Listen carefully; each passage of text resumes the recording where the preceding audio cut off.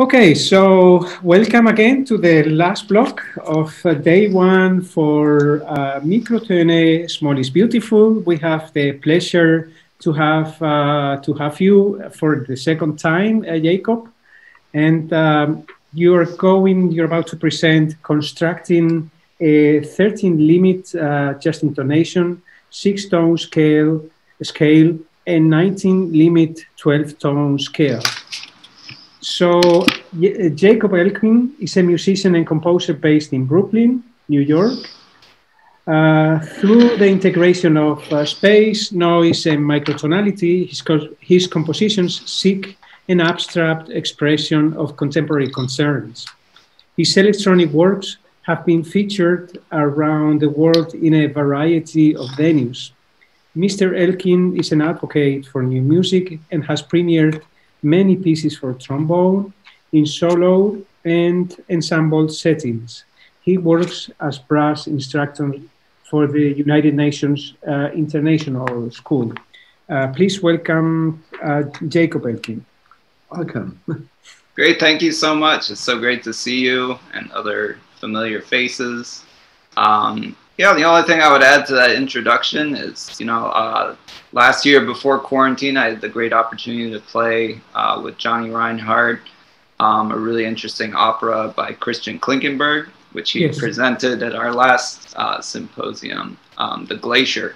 Yes. Um, so it was a great honor for me to play for the American Festival of Microtonal Music. I guess that was two years, two years ago now. Yeah, anyway, so I'm a trombonist and composer. Uh, let me share my screen so I can start my presentation. Share computer sound. Okay. Good, so constructing extended just intonation 6 and 12th tone scales. Um, so the purpose I want to get into uh, before before we start looking at, at ratios and tables and all the numbers. Um, the reason I started putting together these scales, um, which are just intonation approximations of EDO scales, um, was came about through my work um, in performing microtonal music, where uh, when I first started playing quarter tone pieces, I started to notice that there were kind of intonation tendencies for those quarter tones in the same way that there were intonation tendencies for major third, minor third, etc. Um, so I wanted to investigate that further, um, and I've gotten all the way to 12th tones. Um, and one of the main purposes for this is to help musicians to more accurately uh, perform in these uh, microtonal systems. Um, and the other main reason is analysis for composers, especially to have a meaningful comparison to five limit harmony. Um, I think it's really difficult, uh, for example, if you're looking at a 24 note EDO scale to say, okay, D quarter sharp, can I really compare that to, you know, a D in a five limit system? Um, is it really related to it? How is it related to it? And I think by um, assigning a ratio to these pitches, we can have a more meaningful um, connection to those and get a better look at how we can view them in a harmonic uh, setting. So um, the guidelines for constructing these were all based on um, what we know about how we tune and which ratios we use for our five limit 12 um, EDO systems. So um, just like in that system, I wanted to choose only one ratio per interval whenever possible.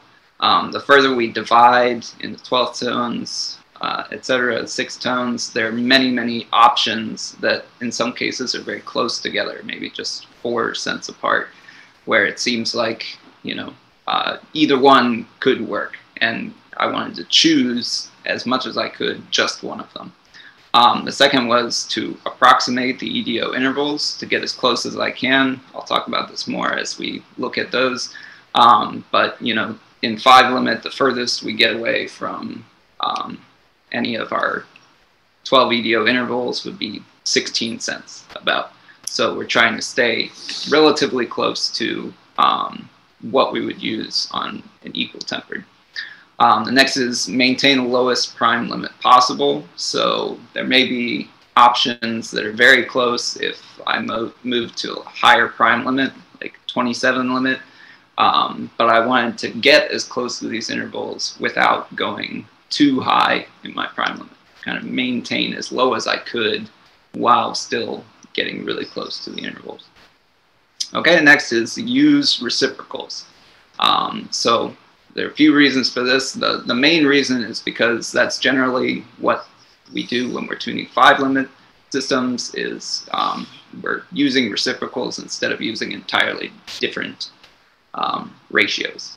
And then the last one is maintain maximum consonants, the lowest complexity possible. So this is another thing I'll talk about um, in the following slides about um, if we have two options that both seem like good choices, we want to look at them, and if one of them has a lower complexity value, it's slightly more consonant, then we should choose that one.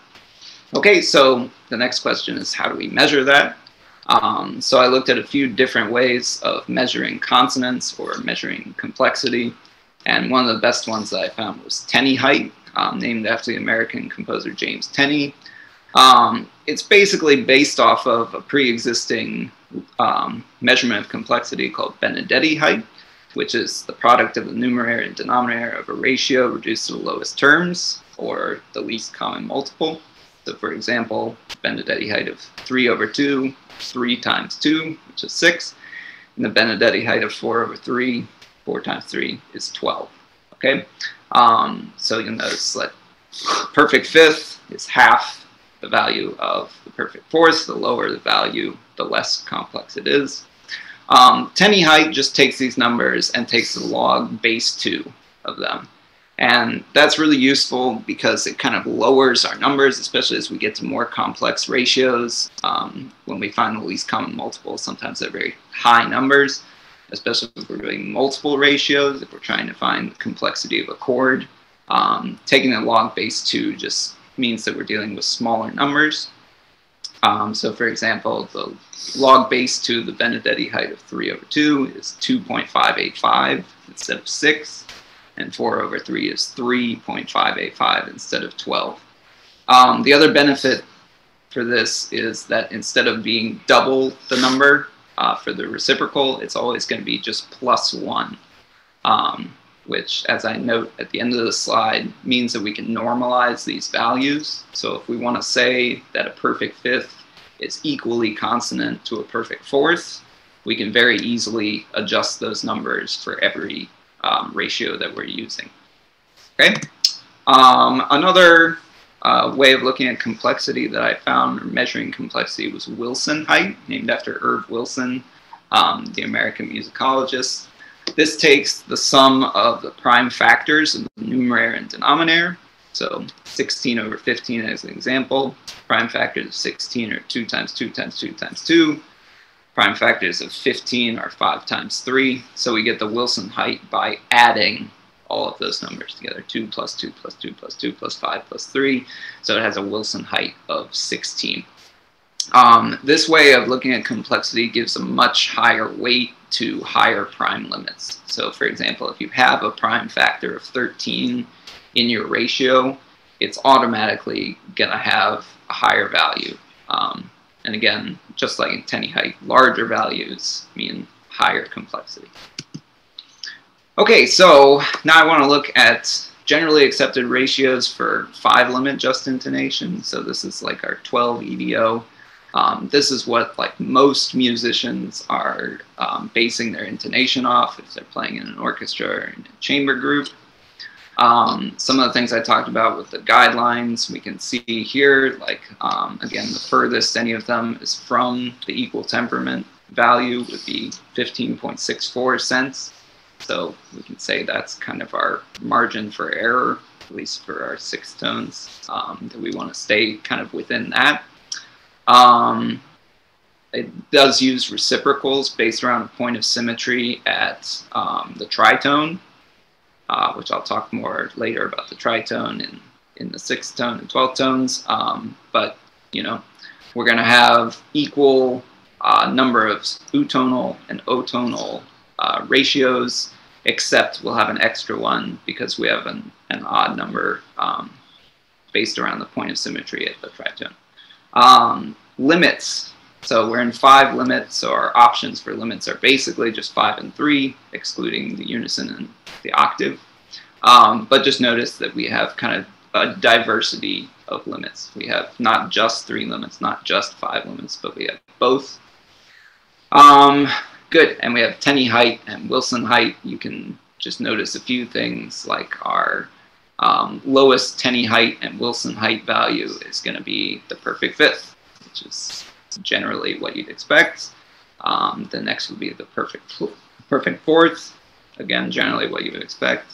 And then the major sixth, the major third, minor third. Generally, what we consider the more consonant intervals are going to have lower Tenney height values and also lower uh, Wilson height values. And uh, the more dissonant intervals, like the major seventh, the minor second, are, have our higher values. One thing that's interesting to note that our Wilson height values for the minor seventh and the major seventh are the same number, 14. So 16 over 9 and 15 over 8 in Wilson height have the same value, um, which in Tenney height they don't, um, which I think is an important thing to note. And kind of, to me, one of the flaws of Wilson height is that we have a lot of intervals that are going to have the same value. And, you know, at least from what I hear, I don't necessarily believe they're exactly as consonant. So um, next slide. This has the entire six tone scale. Um, again, 13 limit, um, which I've selected out of all the intervals available. Um, low limit intervals available.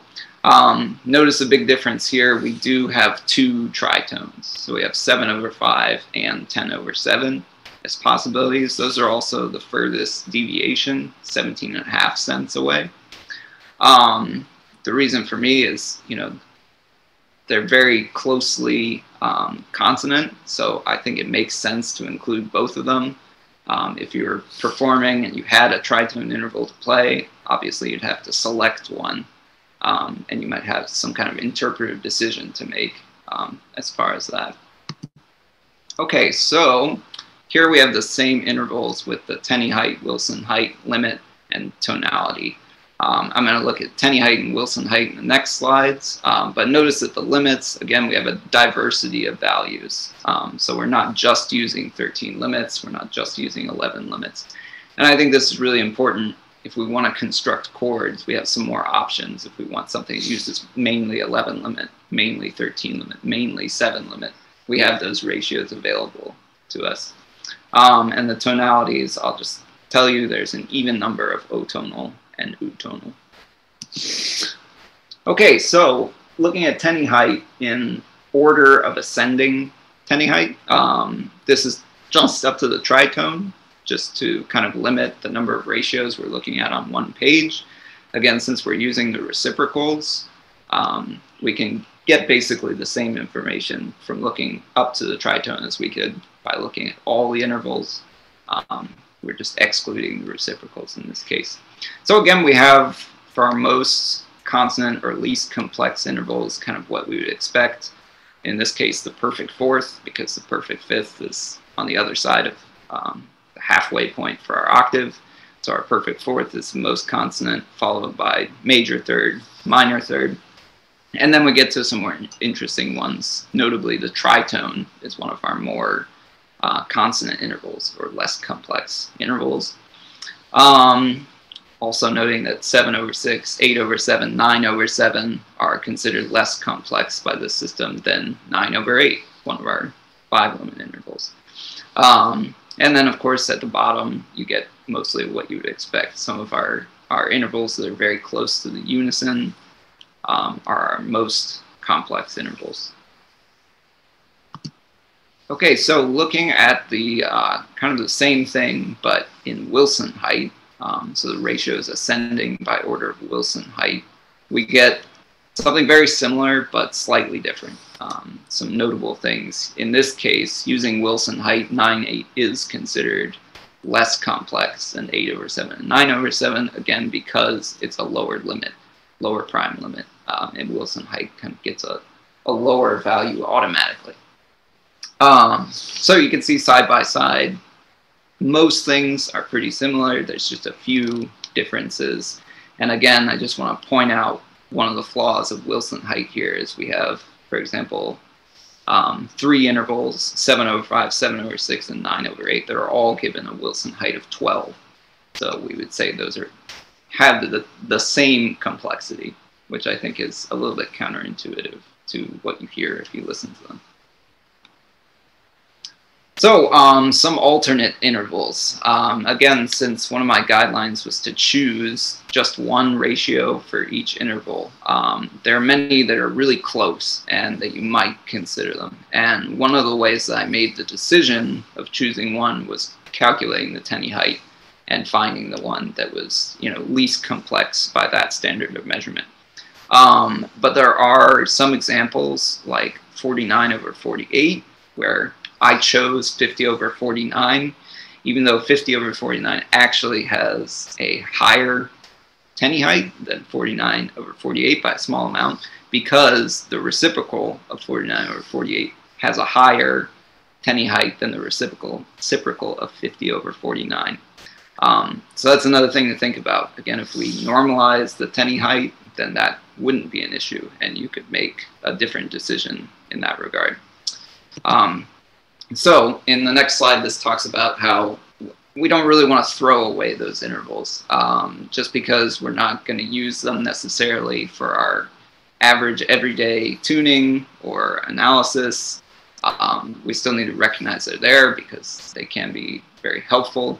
Um, in this case, uh, 13 over 12 and 14 over 13 are very, very close to a six tone raised half step.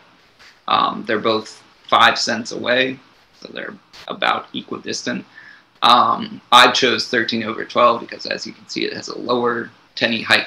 Um, but there might be situations where using 14 over 13 is more appropriate. For example, if you're creating a chord that uses 14 over 9.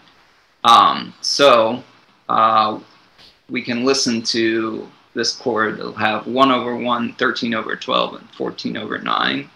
I'm going to play it. Uh, can I just get a thumbs up if you hear it?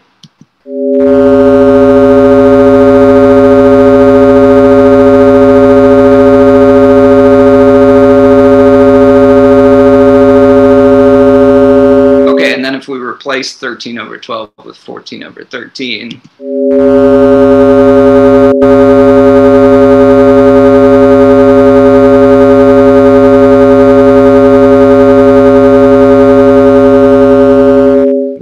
very slightly different chord, um, but I think it's worth looking at. Um, in the next table, I have the combined Tenney height for that entire chord, and we can see that with 13 over 12, we do have a higher Tenney height for the chord than if we use um, 14 over 13. Um, it might be a relatively small amount, but I think, again, it's worth considering. I want to just play it one more time so we can hear. So again, this is 13 over 12 with 14 over 9.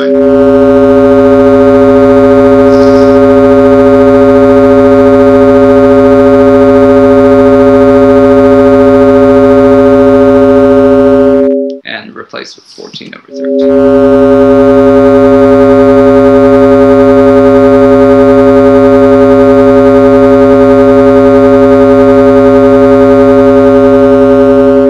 So again, it's a really small difference, um, but to my ears, the second one is, has a slightly more mellow quality. Um, it's something that we could consider when we're constructing chords, that we might use some alternate intervals, uh, even if they're not included in our scale. Um, so here, this shows an example of how that happens even within our five limit. Um, it's kind of the same phenomenon where um, as we uh, increase our limit, we get more and more divisions, especially towards the beginning of the octave. Um, in this case, most musicians are tuning their major second to 9 over 8, um, but 10 over 9 is also a 5 limit option, and it's also relatively consonant. Um, so in this case, uh, when we create a chord using the minor third, and I've displaced the 9 over 8 by an octave, so it's a little bit easier to hear, um, we can hear that we have kind of the same phenomenon where 10 over 9 might be a better choice, has a, a smaller combined Tenney height value. um, than using 9 over 8 in this particular chord. So um, here's the chord with 9 over 8.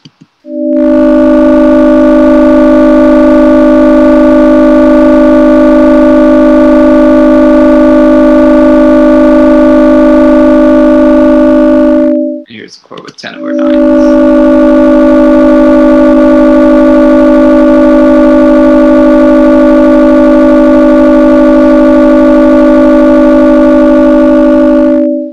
Again, I think it's a, a, a, small difference, but you know we're all about small differences here. So worth considering that even in five limit, we have kind of alternate intervals that maybe we should consider even in a classical setting or you know a chamber setting.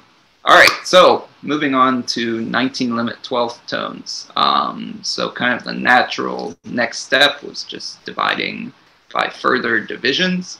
Um, in order to get accurate further divisions, we had to go to a higher limit. Um, in this case, I felt the 19 limit um, was the way to go, trying to not go higher than we need to. Uh, 17 and 19 limit give us really close approximations of um, our 12 EDO. For example, we have like 19 over 16, which is 297.51 cents. Um, really close to like an equal tempered minor third. Um, so this is the first half of it because there's 72 of them. It's on two pages, so this is the other half of the octave. Again, I'm using two tritones. In this case, we can see uh, the upper tritone is 603 cents. So which means the lower tritone is only six cents away at 597. Um, so if you were playing a piece you know, thinking of this intonation system of a 17 or 19 limit tritone, it's only 16 or only six cents away, depending on which one you chose. But you would still, you know, make an interpretive choice, and that's mostly to to maintain the symmetry of the scale. Um, for this complete scale, again, we have an equal number of O-tonal and U-tonal, um, and that's because that's what we do in the five limit. Um, other than we don't have a duplicated tritone in the 5 limit.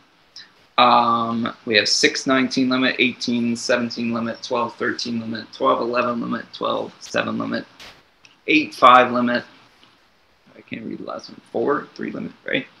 Um, so again, we have a diversity of options. Uh, for example, if we wanted to create a chord which emphasizes kind of a 17 limit sound, we would have a lot of options to use. Um, while we still have 13 limit, 11 7 options. Okay, so um, here are these are arranged by order of ascending Tenney height. Again, only up to the tritone, just so we can fit it on one page. The same things that uh, we said before are going to apply, like our perfect fourth is going to be our most consonant interval. Um, but we get some really good information about some of these intervals that we're less familiar with um, in the middle. And we could, you know, we could say, you know, that this interval is at least less complex than this other one, um, even though it might be a quarter tone, sixth tone, twelfth tone, whatever. In this case, I use normalized Tenney height. Um, so as I said before, I reduced by one any of the values which were increased um, by being an utonal value. Um, so in this case, you know, this does change things. Uh, the minor third, for example, is actually slightly more consonant than the major third if we use this system. So uh, it's something that we have to think about, you know, whether whether we think that a reciprocal has the same consonance value as um, the original ratio, whether a perfect fifth and a perfect fourth um, are equivalent or not. Um, and I think it's kind of interesting to look at both. Uh, so in this case, it's just kind of nice to, to see how these intervals stack up um, without being punished by being a, a reciprocal. Okay, so I want to look a little bit at um, how I've implemented some of this by looking at um, the first movement, my string quartet in 13 limit harmony. First, we'll just look at the first six bars. Um, all of this notation is approximated. So I use plus or minus to show plus or minus 16 cents or about a 12th tone. up or down arrow for 33 cents, about a six tone, and our regular quarter tone notation for the quarter tones. Um, this is the entire pitch collection for the first movement. Um, so you see we are 13 limit. Uh, keep going. So um, before I get into the individual scales that I constructed, I just want to look at our major and minor scales using the ratios. And what we notice with a major scale is we have mostly O-tonal intervals with one U-tonal interval. And with a minor scale, we have mostly U-tonal intervals with two O-tonal uh, intervals, which was something that I really considered when constructing these scales. For example, our main key center in C is like an U-tonal dominated scale with just two O-tonals. The F key center does some modal mixture, so our green one is O-tonal dominated, red is U-tonal dominated, and yellow is kind of interchangeable. And the B flat key center is O-tonal dominated. Um, I want to play the C key center scale just so you can hear it.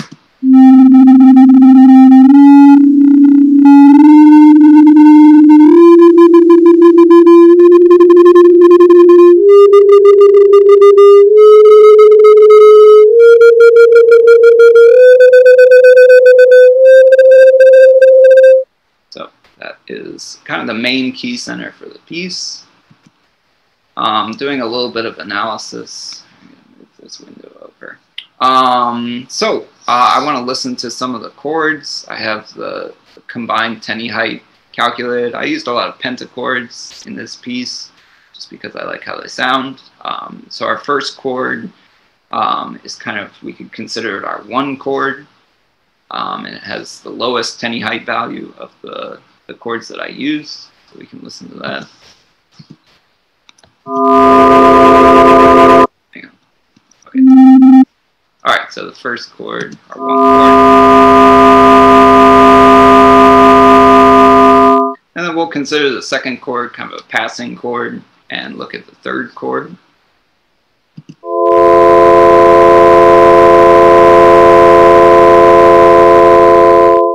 Next chord I've analyzed is what I call our 4 plus chord, um, which uses a 12th, 12th tone raised major third um, in measure 2, the third chord.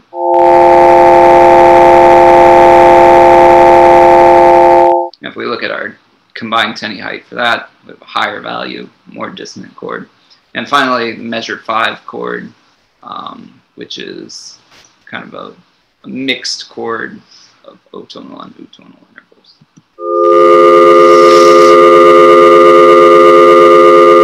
It has a lot in common with the first chord, kind of just a more dissonant version of it. And just for context, um, so that we can hear a pentachord five limit, we can hear this, this would be like a minor nine chord. Um, we can see it has much, much lower combined Tenney height value. So comparatively um, really consonant compared to those. Okay, so um, this piece was recorded in a reading session by the Ligeti Quartet based in London, UK. It's part of their workout session, which was kind of an online quarantine recording session. They recorded uh, pieces by a bunch of composers. Um, the recording quality is not the best. They had to do it in some uh, kind of a practice room instead of a hall, I assume because of uh, COVID restrictions. I just got this yesterday, actually. Um, but I was really happy that they, you know, took the time to record it. It's definitely a difficult piece to put together in a short amount of time. So I will play it and show the score here.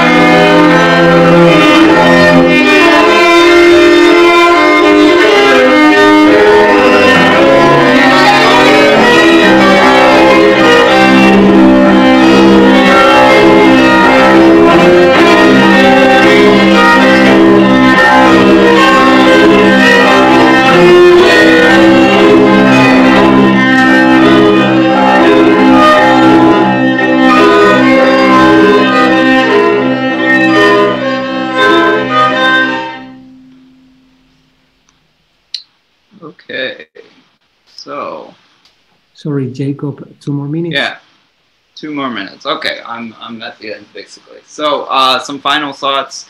Further divisions. Um, you know, should we look at 24th tones, 48th tones? Um, at at what limit does this? You know, how how far should we continue this? I'm sure Johnny has some thoughts on that.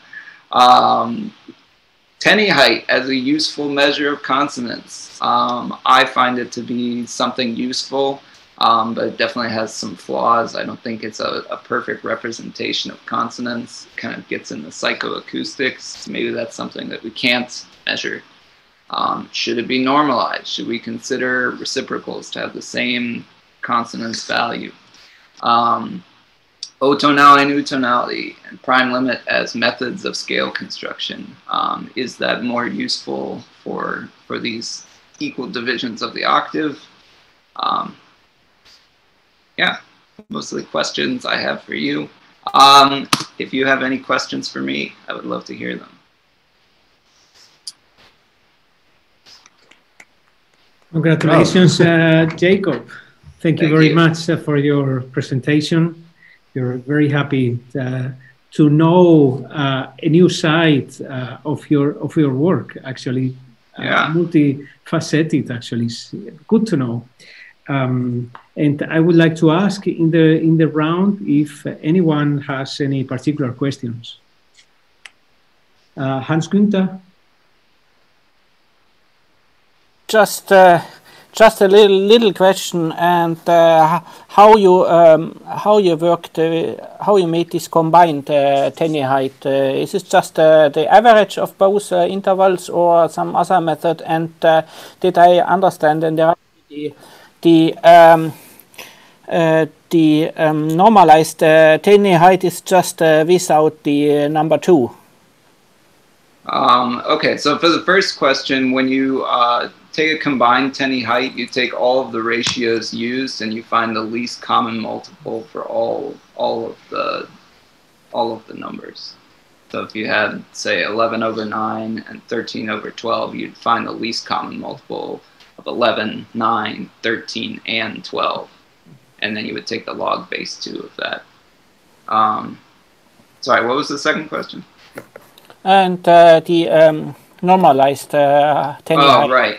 So for for Tenney height, um, the reciprocal is always plus one. So the um, three over two will will have one less than than four over three. So you can either add one to three over two or subtract one to four over three, and you can do that for every reciprocal ratio if you want to say that the reciprocals are have equal complexity, and you can kind of look at the numbers in a different way.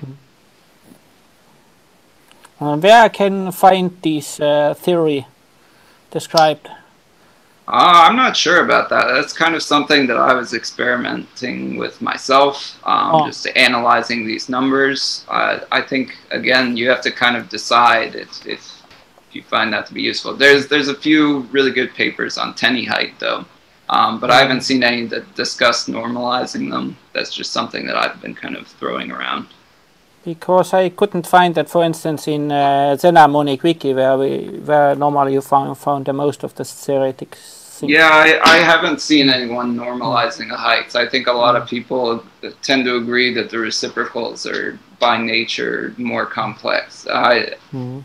I, I think that's up up to interpretation, perhaps. Thank you. Um, and Richard uh, has a question, I guess. Yeah. Um, greetings, Jacob. I Good remember our our substantive conversation after the 2019 Yeah. symposium at the airport. Right. Uh, my question is not in any way technical, but I'm just wondering how, uh, you know, the events of the subsequent uh, uh, time uh, affected your musical life, uh, specifically, of course, the pandemic. Yeah, well, it's been a really strange time for a freelance musician, that's for sure. Um, I've been I've done a lot of outdoor concerts, which is lucky. I've done a lot of Zoom lessons, and uh, like the string quartet I, I wrote last summer, I'm still working on it, but managed to finish the first movement for this uh, call for scores. And uh, yeah, you know, being at home a lot gave me a lot of time to think about microtones, I guess. I'm, I'm just wondering if you see the world differently and therefore the place of music in the world differently. Well, I would definitely say that if there's any ever a time to take some risks with music, might as well be now, right? Fantastic. yes, thanks. And and so Jacob, the uh, Ligeti Quartet, they will play the piece when when that was just a reading session yeah, they put it up on their website um, as they, they did a workshop, which I think they have some feedback, which I actually haven't heard yet. Um, I don't know if they're going to do a public performance. I think it depends on the quarantine situation mm. in England. So hmm. uh, we'll see. But you know, for me, it's just really good feedback to do some editing and finish finish the rest of the piece. Yes, yes, yes. I have impression that the Ligeti Quartet played about uh, 10% from the intervals intonated them uh, right. So yeah, well, they did a lot. Be- they did a lot better than I expected. Yes, we did. Given, yes, yes, given the did. complexity of the piece, mm. I think. Yeah. But I know. think it's a really good piece. But it should be Thank interpreted you. by a good uh, and yeah and I think it, I think careful it takes, intoning uh, quartet. yeah, I think it takes a little bit more time mm. and practice mm. to really nail everything in there. Mm. Yes, of course, there are several stages. And, and Victor Puskar mentioned before about the magic words for the musicians. Maybe I think it's a, a, matter of, of how the stages yeah. in your in, in the practice, of course, in the learning of the piece yeah. is not easy.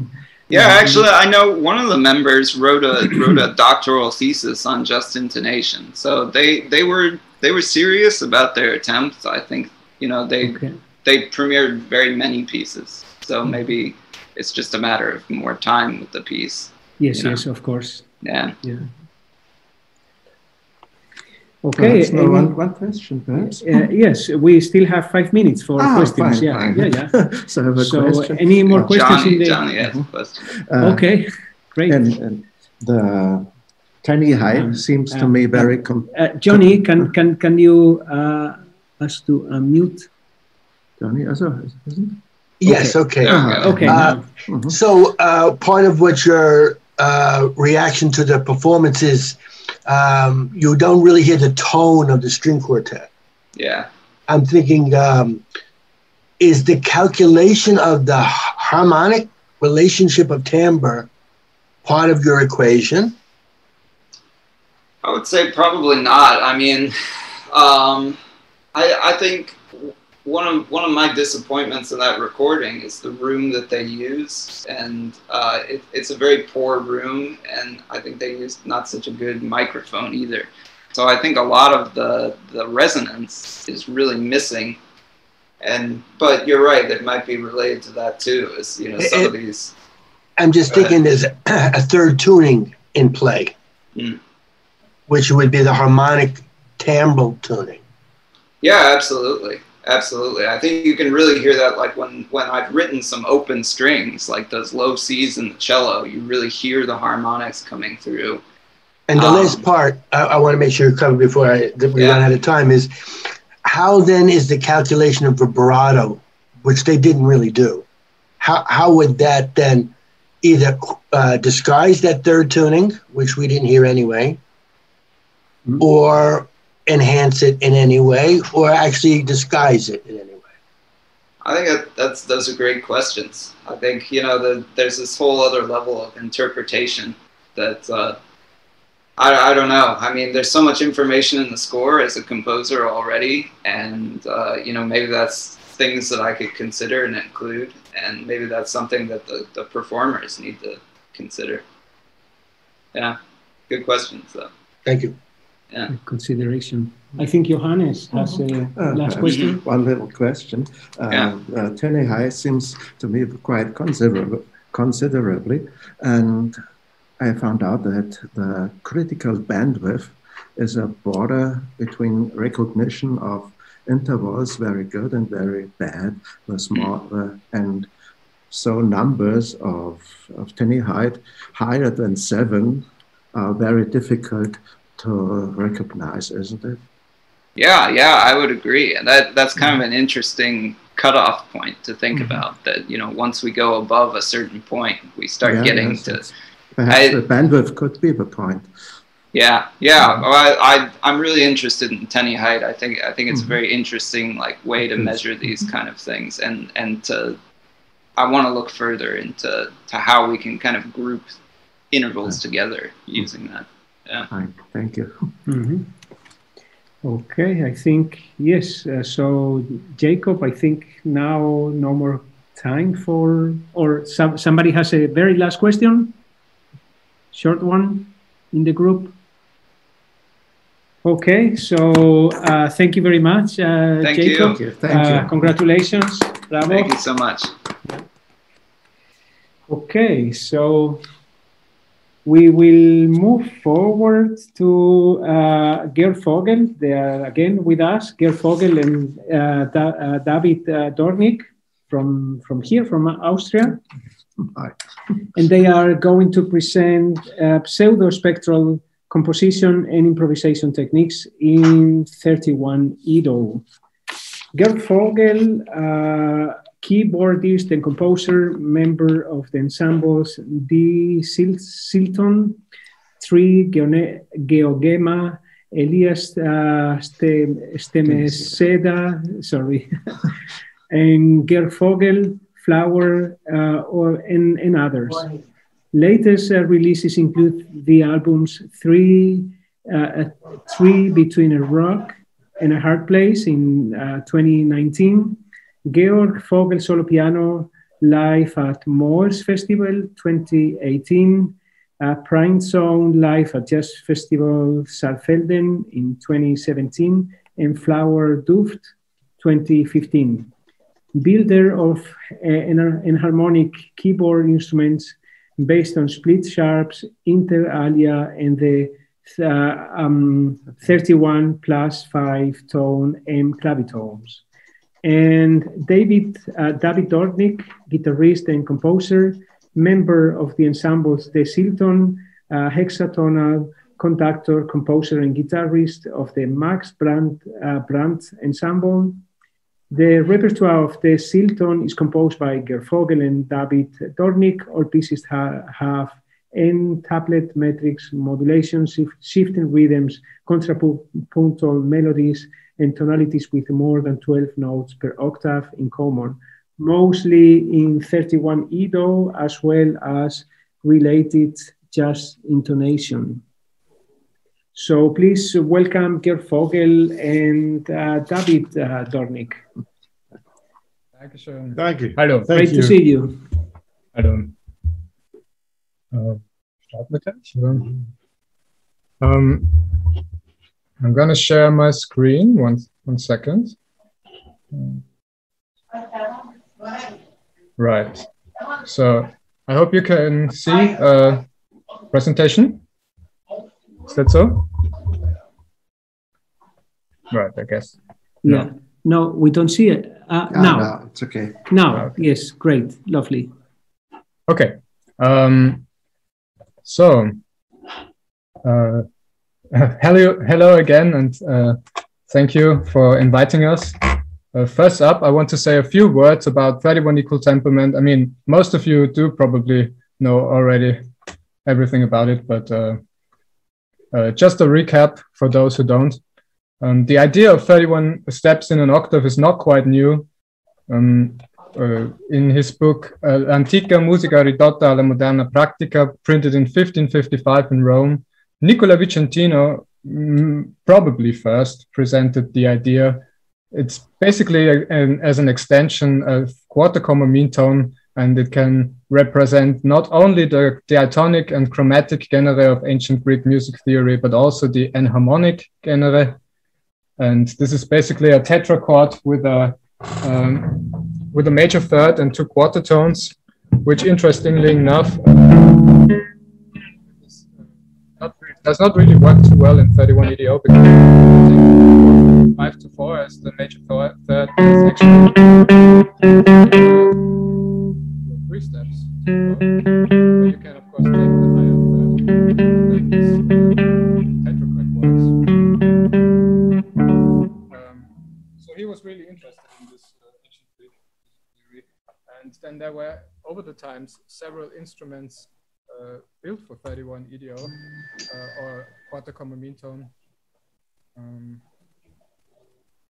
uh, for instance, as you can see here, taken from the website of Studio 31, uh, the Archicembalo, which uh, in, invented, and the Arco Organum, these are recent builds. And then there was the Clavimusicum Omnitonum, which is also the an inspiration for Georg's instruments, which we will see shortly. And then there was this very um, mysterious uh, Sambuca Lincea uh, from Fabio Colonna, which had uh, several um, um, um uh, duplicates of the same note uh, to have better fingerings possible than on Vicentino's Archicembalo. And of course, a bunch of not too widely spread theory uh, in those times in the 17th and 16th century. And then, of course, in the 18th and uh, in the 1950s, we had this small renaissance of the tuning with Adrian Fokker, who built this organ, which is in Amsterdam now. And he really spread the word about uh, 31 EDO. He wrote several papers and had, had a lot of readings. And that's why it's probably a very uh, popular tuning. He, of course, uh, was very inspired by uh, Christian Huygens' work. And so this is not not something too recent. Um, and yeah, it, uh, 31 EDO is basically uh, very close to quarter comma mean tone. And uh, also, uh, as a, this means, of course, that uh, chromatic, diatonic, and enharmonic harmony of the West can be perfectly represented in a uh, mean tone kind of intonation.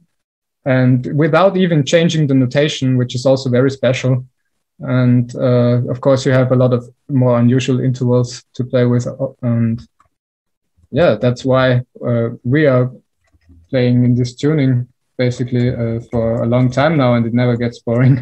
We uh, in our trio Zielton with Valentin Duit, Georg Vogel and I uh, have also built several instruments to uh, play in this tuning. And some of them we're gonna share with you now as a short recap, this is uh, uh, one of my 31 tone guitars and one of the clavitones, and I'm gonna switch to the camera, I think. Um, how do I do that? Um, stop sharing, is there something like this? Um, stop, stop share, yes. Right. So, do you see us now? We see your presentation and we see you as well. Right. Now we just we don't see your presentation, just see you. Yeah. So this is uh, one of the guitars, uh, which has um, um, quite a lot of frets and quite a lot of strings. So we can go to uh, to contra E. Um, oh no, wait, wait. This one is uh, in third tuning, and then we have one uh, a six string. Uh, the six string. Uh, I don't know how it's called in English. Uh, resonance uh, with F holes, and then we have this one, which uh, has a very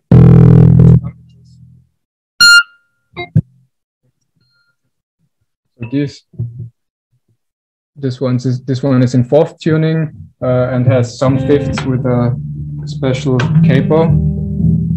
And then we have a classical guitar. Sorry, there's a string broken right now. Um, these are all in 31.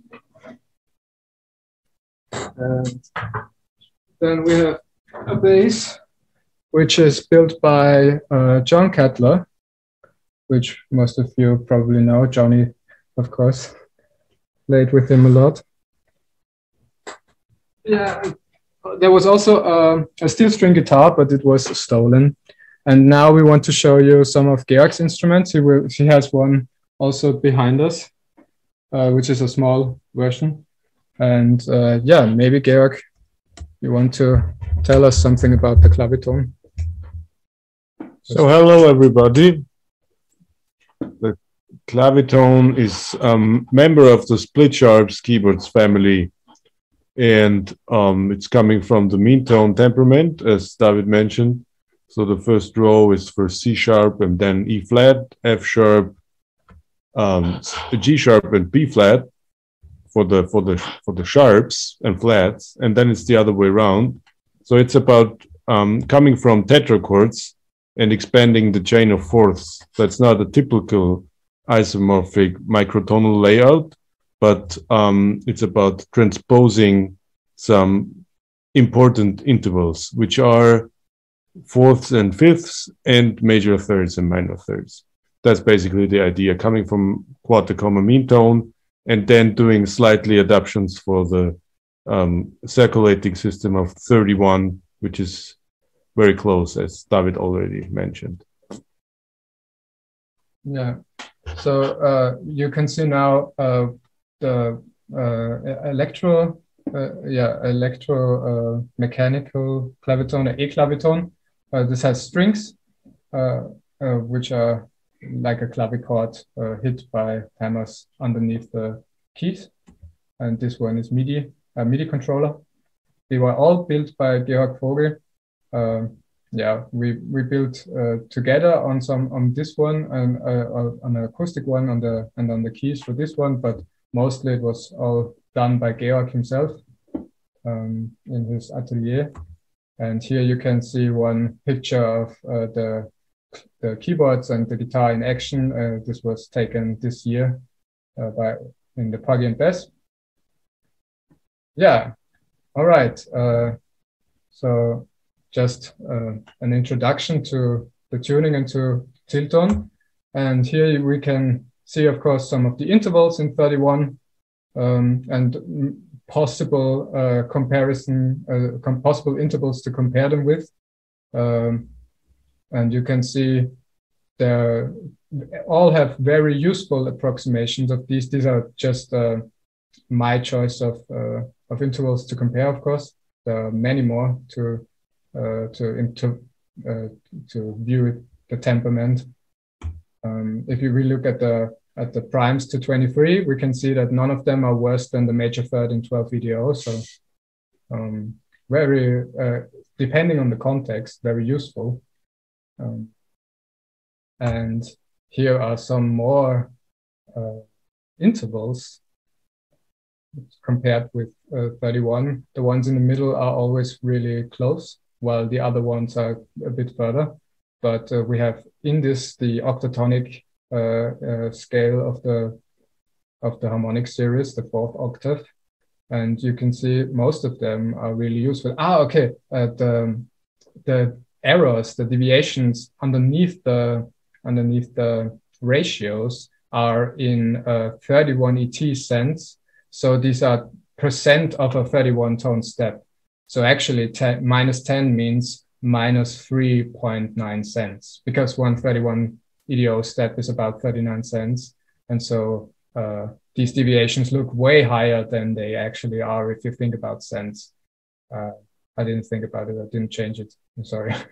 um, yeah. So uh, I also looked at the um, uh, 47 odd limit. These are without the uh, inversions of the intervals. Um, and as you can see, uh, I picked out um, intervals which are closer than 10% uh, of a 31 tone step, which is 3.9 cents. And some of many are very, very close. So it works very well as a spectral tuning. Uh, we can see 17 to 13 is especially close. These are also uh, part, uh, so 10 plus or minus 10 is actually 3.9 cents because it's a percent of a 31 tone step, if you will. And uh, yeah, if you take 17 to 13 uh, to the power of 31, it's only 2.7398 cents um, from 12, 12 octaves. So that's very close. And as it's a prime tuning, uh, as 31 is a prime, uh, you can take every interval to as a generator for the whole uh, tuning system, which is a remarkable uh, property, of course, for every uh, prime EDO. And 17 to 13 works as a really nice JI um, approximation. Now, uh, my first uh, way to view 31 as a temperament was my string quartet Schatten der Prismen. And this was basically in uh, in 31 limit uh, just intonation. Nah, I'm sorry, it was in 17 limit just intonation. And uh, I, I, wrote it and then I, we wanted to play it with the trio, uh, first the duo. And so uh, I had to, um, yeah, well, uh, adopt it for 31. And mostly we did this, uh, Georg did this himself and I did it myself. But when I wrote it down again, it was a really interesting process to see how well it worked um, especially the seven limit parts. Um, and this made me really realize 31 as a temperament, even though I was working with a lot of um, uh, uh, uh, serial composition techniques with 12 tone rows and stuff. Here's the notation. It's very similar to the extended Helmholtz uh, Ellis JI pitch notation, but then takes some inspiration from Ben Johnston's notation. Um, yeah, you if you if you know those two uh, notations, you will figure it out easily. It's basically uh, a mix of those. So yeah, this is the same we saw before uh, for the for the trio.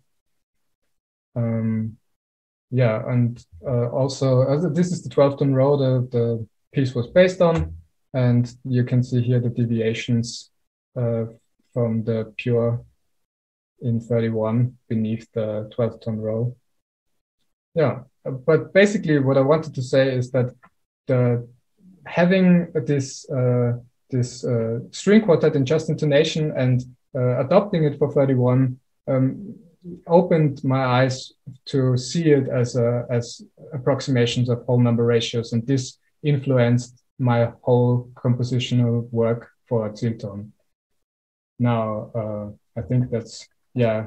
The, these are some of the old keywords we used, and they are all none of them have the full 31. So uh, I usually I take any spectral chord that works with these tunings uh, if it's a, if one is available and also works with the tone row and stuff. Yeah. Now, uh, Georg is going to tell us about what we actually wanted to know. Uh, the pseudo uh, spectral harmony that is not only seven limit. Uh, my string quartet was mainly seven limit. Mm-hmm.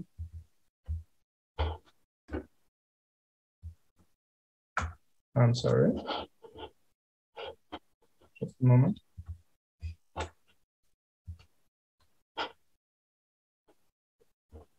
Sorry, I have to reopen it.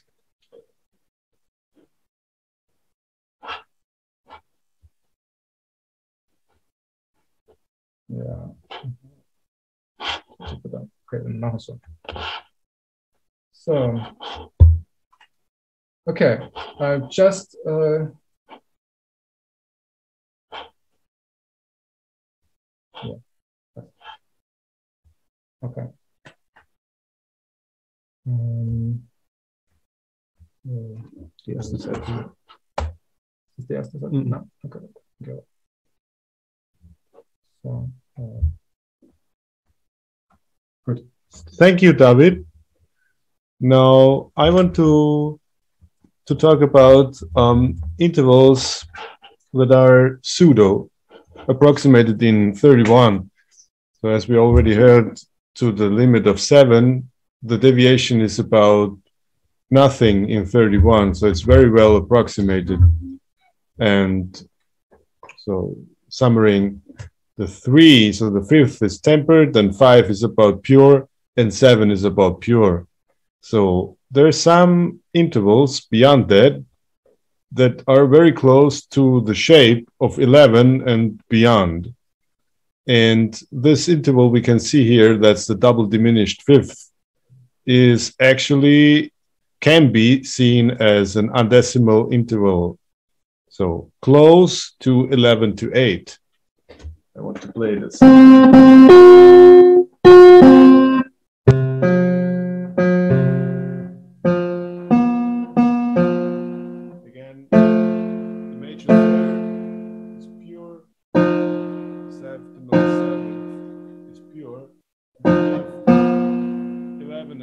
Step.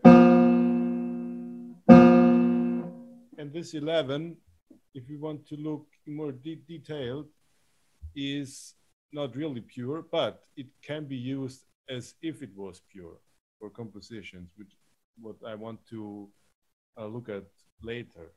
So this is the fingering at the 31 tone um, split sharps keyboard. The G double flat is located in the fourth row. So the deviation can be visualized as 176 to 175. So why is it that way? Um, because this tone is a G double flat, it can be localized diatonically. And the diatonic um, relations um, um around this note can be, um, um, yeah, it's located at the double flats. And it also can be located not only diatonically, but also with the spectral intonations um, of the of the fifth uh, of the quintal intervals. That's not the fifth. I mean the third. That's kind of confusing. But the third is about identical. The, the diatonic third is the fifth harmonic, and the seventh is the augmented um, sixth. And now we are at the limit of uh, eleven, and the undecimal intonation is the double diminished fifth in the quarter comma universe.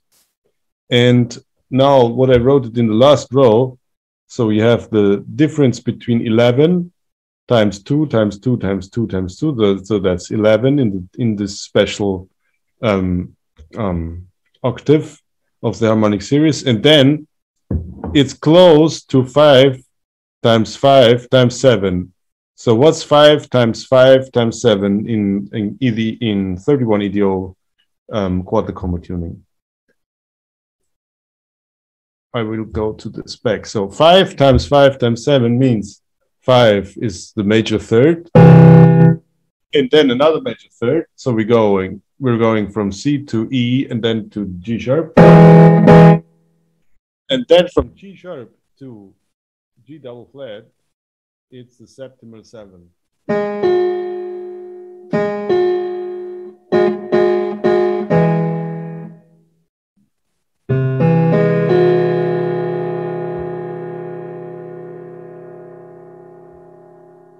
That's seven limit because all intervals used are at the limit of seven. So it's five to four, five to four, and then seven to four. And this together is 175. And as I wrote in the in the second last row, 175 to 128 is um, four, uh, 500.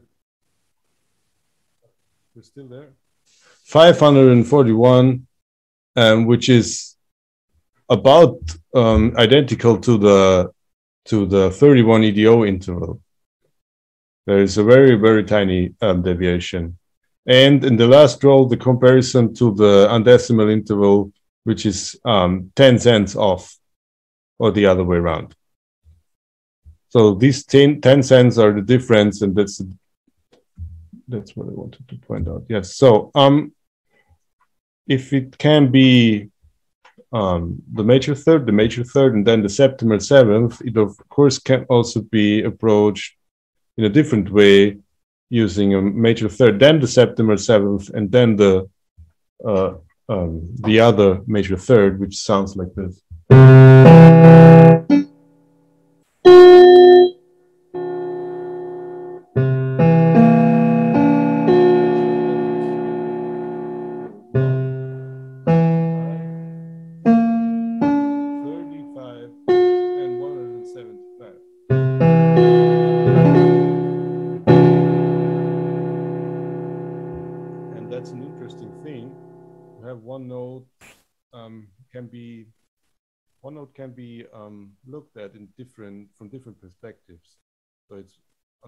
Side, it's a seven limit note.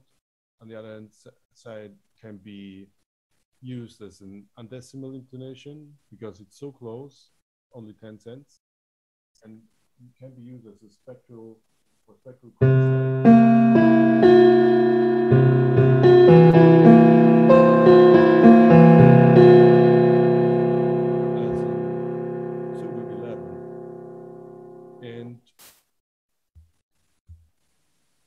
Course, seven limit. So this is the third option. Um, you see the notation, the diatonic notation, which is one option to notate 31. Um, David is using intonation accidentials based on um, quarter tone notation. I'm using mostly diatonic um. That means sharps and flats, double sharps and double flats. And um, under that you see um, how it's uh, located, where it's located on the on the split sharps uh, layout. See that A sharp, that's the augmented six, or the seven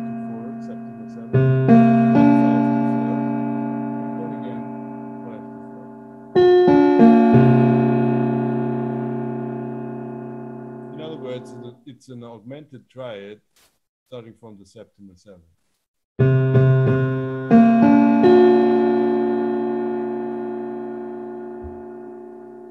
And of course, since it's, it is an EDO, this can be transposed and can be played from every note. Right?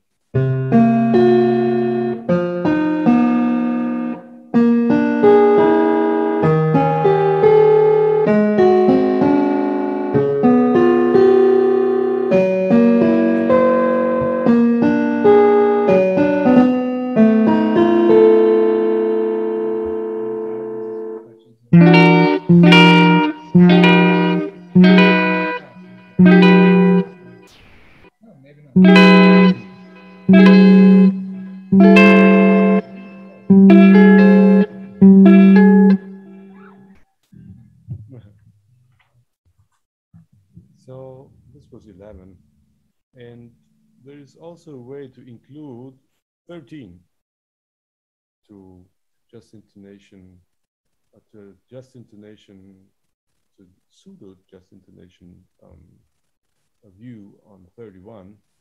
And the 13 can be visualized as the double augmented fifth, which is one 31 step um, below the major sixth. So this is how it looks on the on the clavitone keyboard.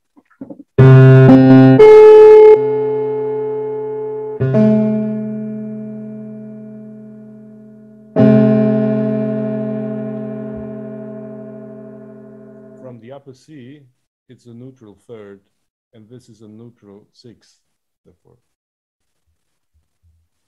Again, the pseudo 13 can be visualized as the deviation between just intonation and the real 13, because 13 isn't pure, purely intonated in 31, is the difference of, um, can be approximated as um, 105 to 104.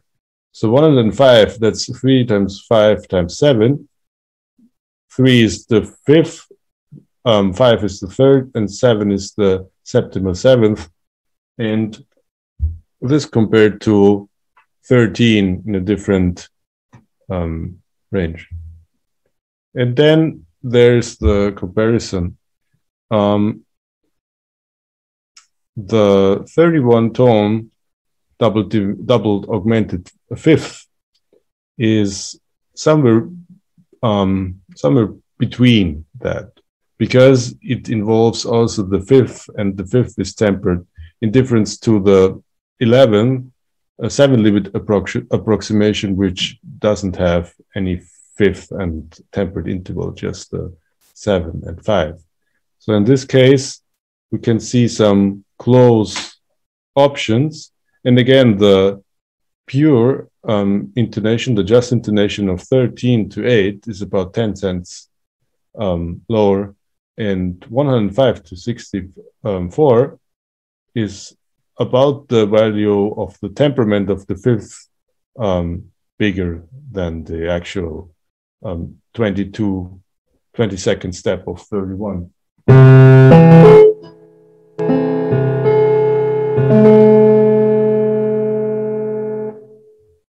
So this is how it can be visualized again on the keyboard if I use again the seven limit approximation.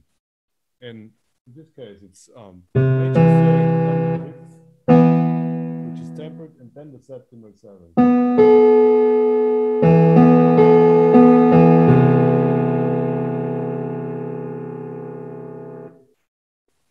And um, of course, in a different distribution, it would look like this, having the major third as the first interval, then the septimal seventh, and then the fifth.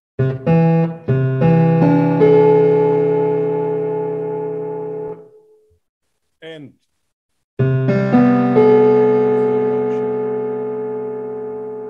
so um, just um, short, this um, interval, of course, can be transposed.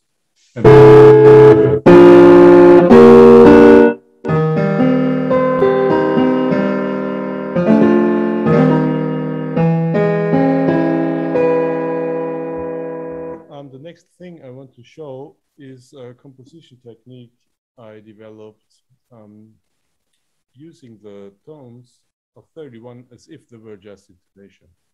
And um, in the first column, um, on the left side, you see 11, 7, 5, and 3. So these are the, the prime numbers. You have 3, that's the fifth, then 5, that's the third, and the pseudo 11 I was explaining beforehand. And then this changes going up every every next column. So 7 goes to the first row, then it's 7, 5, 3, 11, then 5, 3, 11, 7, 3, 11, 7, 5, and then again starting with 11. So that's the, the, the generator. And then um, how it can be visualized with the diatonic note names. The root for the first chord is C, then it's G, E, A sharp, and G double flat. That that's what I was explaining before. And then the G double flat stays and becomes the septimal seventh. And now this um, is kind of a practice of um, transposition in 31. And G double flat equals um, E double sharp, and E double sharp is the septimal seventh of G sharp, the augmented um, sixth. So we have the first, um, first it was the G double flat was this, the 11 of a chord.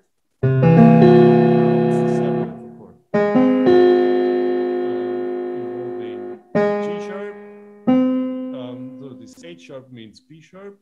And then D, sharp and D flat is the 11. Sounds like this. And then the B sharp stays and becomes the third, the the three, which means the fifth. Always confusing. So B, B sharp is now the fifth of the G of the E sharp. And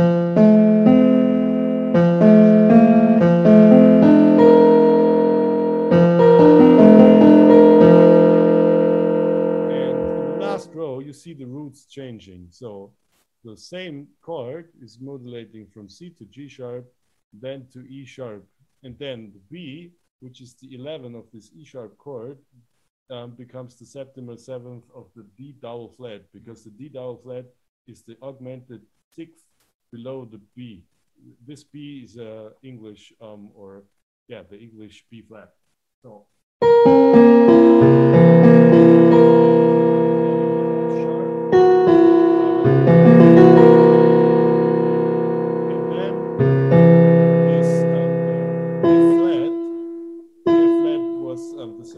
seventh.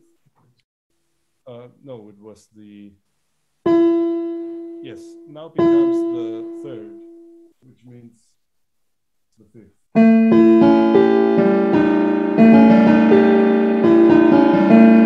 This, this is a technique to um, use just one voicing or chord and transpose it transpose it um, um, at least four times, but mostly more often.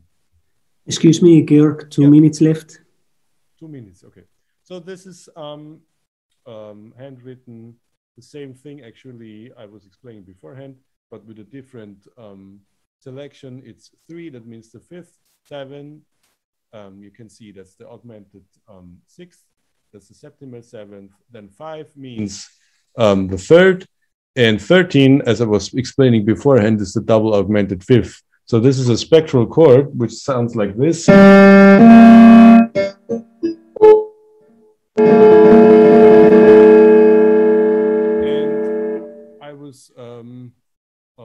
Using this chord for this composition technique, and then it's modulating um,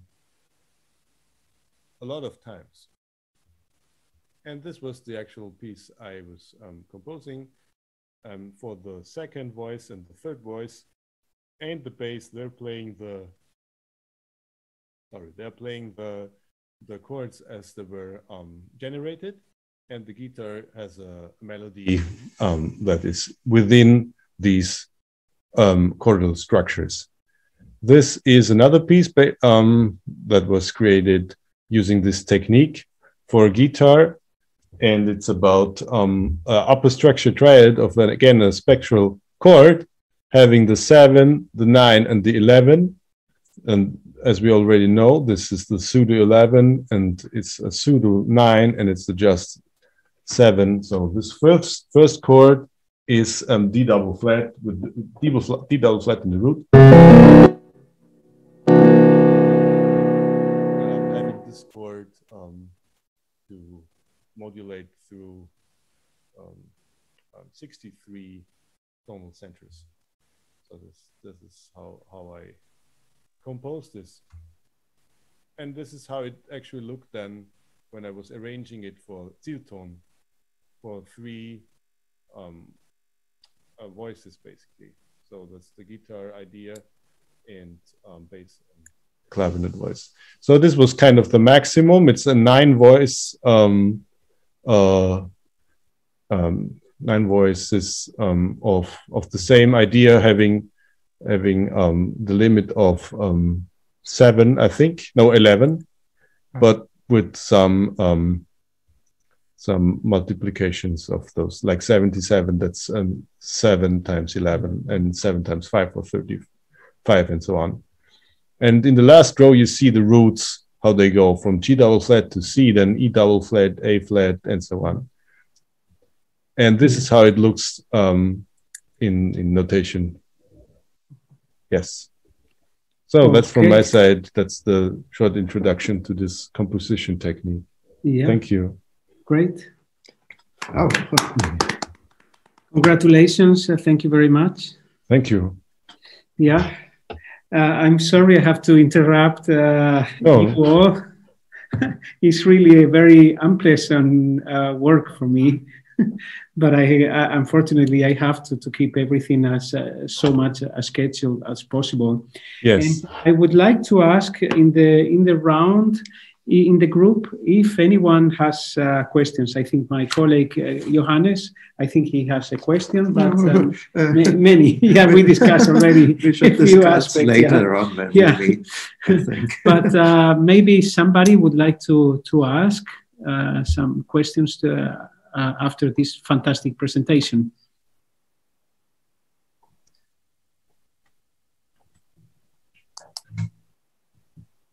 Okay. Other, otherwise, uh, Hmm. that's that's too much. I, much I should ask, but when you put together uh, different intervals like 11 to 8, 7 to 4, and 5 to 4, and 3 to 2, uh, then in summary, they not added but multiplied, and, and there comes for this example, the result is 1,155 to 1,024. Yes. uh, and and you must imagine this interval. What could it be? It, it remains to a, a neutral second, I think. It's Mhm, mhm. 11 to 10. Is it right? Uh-huh, that's it. uh-huh. That's the whole difference. But but you, it, it's so much to do in this uh, in this case, and and, uh, and in the mathematics and in the practices. And I think you are the best way, and you and you make many thoughts about uh, the, the composition of sounds, and and you will often will be surprised what what a small difference would make in the in, in the result. Mhm, mhm. Yeah, and I think you have you will have a lot of fun to discover the new sounds and yeah, the best Mhm. way to do that. And I would like to hear the last piece, but I don't think we have time enough. Yeah. It's not too late, and we will see again and hear again, of course. And Yeah. I'm looking forward to, for it's most interesting the music, especially you make, and Mhm. oh, uh, we have a, we, we uh, stay in connection, and I want to ask you if you will send me sometimes uh, one of your pieces. Yeah, cool. Fine. You, you you come to Salzburg uh, often, I guess. Yes. Right? Yeah. Yes, Yes. then you have my phone number. I will give you. Yeah. Yeah. Yes, yes, yes, we keep in Uh-huh, contact. uh-huh. Great. And, uh, uh, so, any questions? Any questions in the group, please? Otherwise, I will. I will have a little question. Okay. Okay. Okay. Okay. I go. I want it to be the last one. You know, Mhm, mhm. not I talk enough. There are other Um, because I, I, I love, uh, I really love the music of Nicola Vicentino. And uh, I, I'm wondering, we met a few times, but we didn't talk enough actually, because uh, twice you came here, and those twice times, I guess I was busy with some problem happening that I had to take care, or once was with a rehearsal, and we didn't, I mean, I missed so much uh, from you.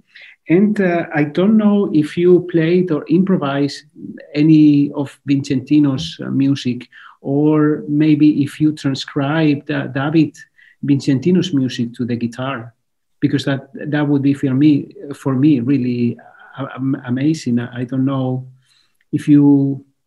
No, I didn't do that, but it's uh, it's, it's certainly interesting. Uh, you have to, of course, you you know guitar. You would have to make compromises, but I have enough strings to try. So Yeah, it's an Yes, amazing guitar. Yeah. Uh, Mhm, Amazing. yeah, may, maybe the classical one would be suited best. mhm. Yeah. Mm. No, sure, of course. Uh, it's very, uh, uh, very adventurous and surprising. His music, uh, very, very, um, yeah. Uh, if you know music uh, uh, from this time uh, that is widely spread, then it comes as a real surprise what he's doing, and uh, of course al- also the excuse, excuse, uh, this, the, the the that he wanted to have it exclusively this kind of uh, effect um, he was going for not for everyone, so to Mhm. say that uh, that he was uh, thinking even that back then that music was too widely spread and too available for everyone, and that he wanted this uh, very special music for uh, for some people, and Mhm. this is uh, uh, yeah. I, I think it shows in his approach to just wow with his small interval uh, uh, transpositions and stuff. Yeah, it's Yes. Yes, I I really hope that mm, you know the community, the music community, invests a little bit of more of time, more of work about uh, this uh, treasure that Yes. he he left for us. Actually, Yeah, yeah, Yeah. yeah, yeah, yeah. yeah. In, in in Basel, the guys they are doing a lot of his stuff, and it's really wonderful. Of course, yes, yes, Mhm. yes, yes, Yeah. yes, yes. Yeah, but uh, I mean, uh, your work. I mean, you're doing also a fantastic uh, work really amazing. Thank you, I have thank a you. great admiration for you guys. We we love you from here. I mean, Yeah. you were really impressed. Uh, First time I heard you, Oh. Thank you so much. Really, Thank you. it blew my mind. Oh, and cool, cool. Uh, yeah, we are very happy to to see you here again. Nice, nice. Thank you very Yeah, much. thank Yeah. you. I hope we can meet in person Yeah, anytime person. soon. And I also Yeah. hope that we can play for you. Maybe Yeah. the compositions Georg showed, maybe Mhm. maybe we can play them until then and then uh, we can it's better to talk about this stuff of course. Mhm, mhm. Yeah, I- I'm really very much looking forward to these new compositions, these new Uh-huh. work, new Mhm. themes uh, of you. Thank it's you. uh, really Mhm. great to have this uh, these updates uh, from from your work. We are very lucky. Thank you. Thanks- Thank you so thanks much for having us. That Yeah. is really nice. Great. Okay, we still have one minute. Somebody has uh, still a question. Uh, people were uh, congratulating in the chat and also asking about your music. But if you uh, this Hilton in YouTube, you find uh, music or you have any any tips? Uh, yeah, I think Georg Vogel's homepage maybe I can uh, show you. Wait a moment. Yeah, maybe if you can write it. Mhm. Uh, Is this here? Yeah, yeah. So here. So what that uh, uh, we all ca- can see. Ah, it? yes, of course, yeah. yeah yeah. Maybe uh, there is, uh, especially on Georg's homepage, you find a lot of our stuff. And if you follow the YouTube links uh, and maybe some Facebook links, you can see it's on our channel and you can look for more videos there. I'll take a picture and share. Yes. put it down. okay. For those who who might not know. Yes. Okay. Yeah. So uh, now, yeah. Thank you very Yeah. much. Uh, Thank you for Uh, having Thank you us. for having yeah. us. Yeah. Congratulations. Thank you. Thank you. And uh, yeah. Hope to Okay. see you soon. Yeah. Cool. Yes. Yeah. I hope to see you soon also in person. Yeah. Yeah. Cool. Next time for sure. Mhm, mhm, mhm. Yes. Okay. We're looking forward. Cool. Okay, so we continue now uh, to our last presentation uh, today, first day of the symposium. And I have uh, the pleasure uh, to present um, Richard Cameron Wolfe and Kharkov Guitar Quartet. Um, they are presenting Mirage d'Esprit, uh, Suivons les mirages uh, lointains. Sorry about my French, Richard. And I would like to say a couple of words about um, Richard. Uh, Richard Cameron Wolfe was born in Cleveland, Ohio, and his early musical life, life was focused on the piano. He studied at Oberlin College uh, and Indiana University, where his principal teachers were Joseph Battista and Menahem Pressler piano, Bernhard Heiden, Iannis Xenakis, and microtonalist John Eaton um, uh, for composition. In 1967, as a founding member of Fiasco, a very UN academic an- multi-arts uh, collective, he began to compose inspired by dialogues with poets, dancers, and visual artists. He began formal master's degree composition studying in 1968. In 1974, Cameron Wolfe moved to New York City, where he worked as a freelance musician, particular, particularly in the New York City dance community.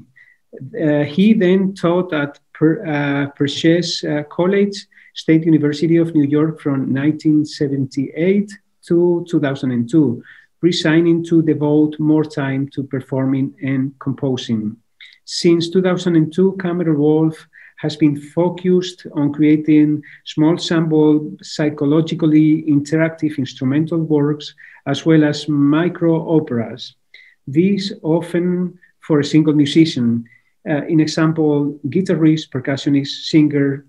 Most of his compositions are published by the American Composers Alliance and recordings of his compositions and piano performances. Then uh, Rudyard Erik Satie appear on the Opus One Innova, New Focus, uh, Furious Artisans, and LTM labels.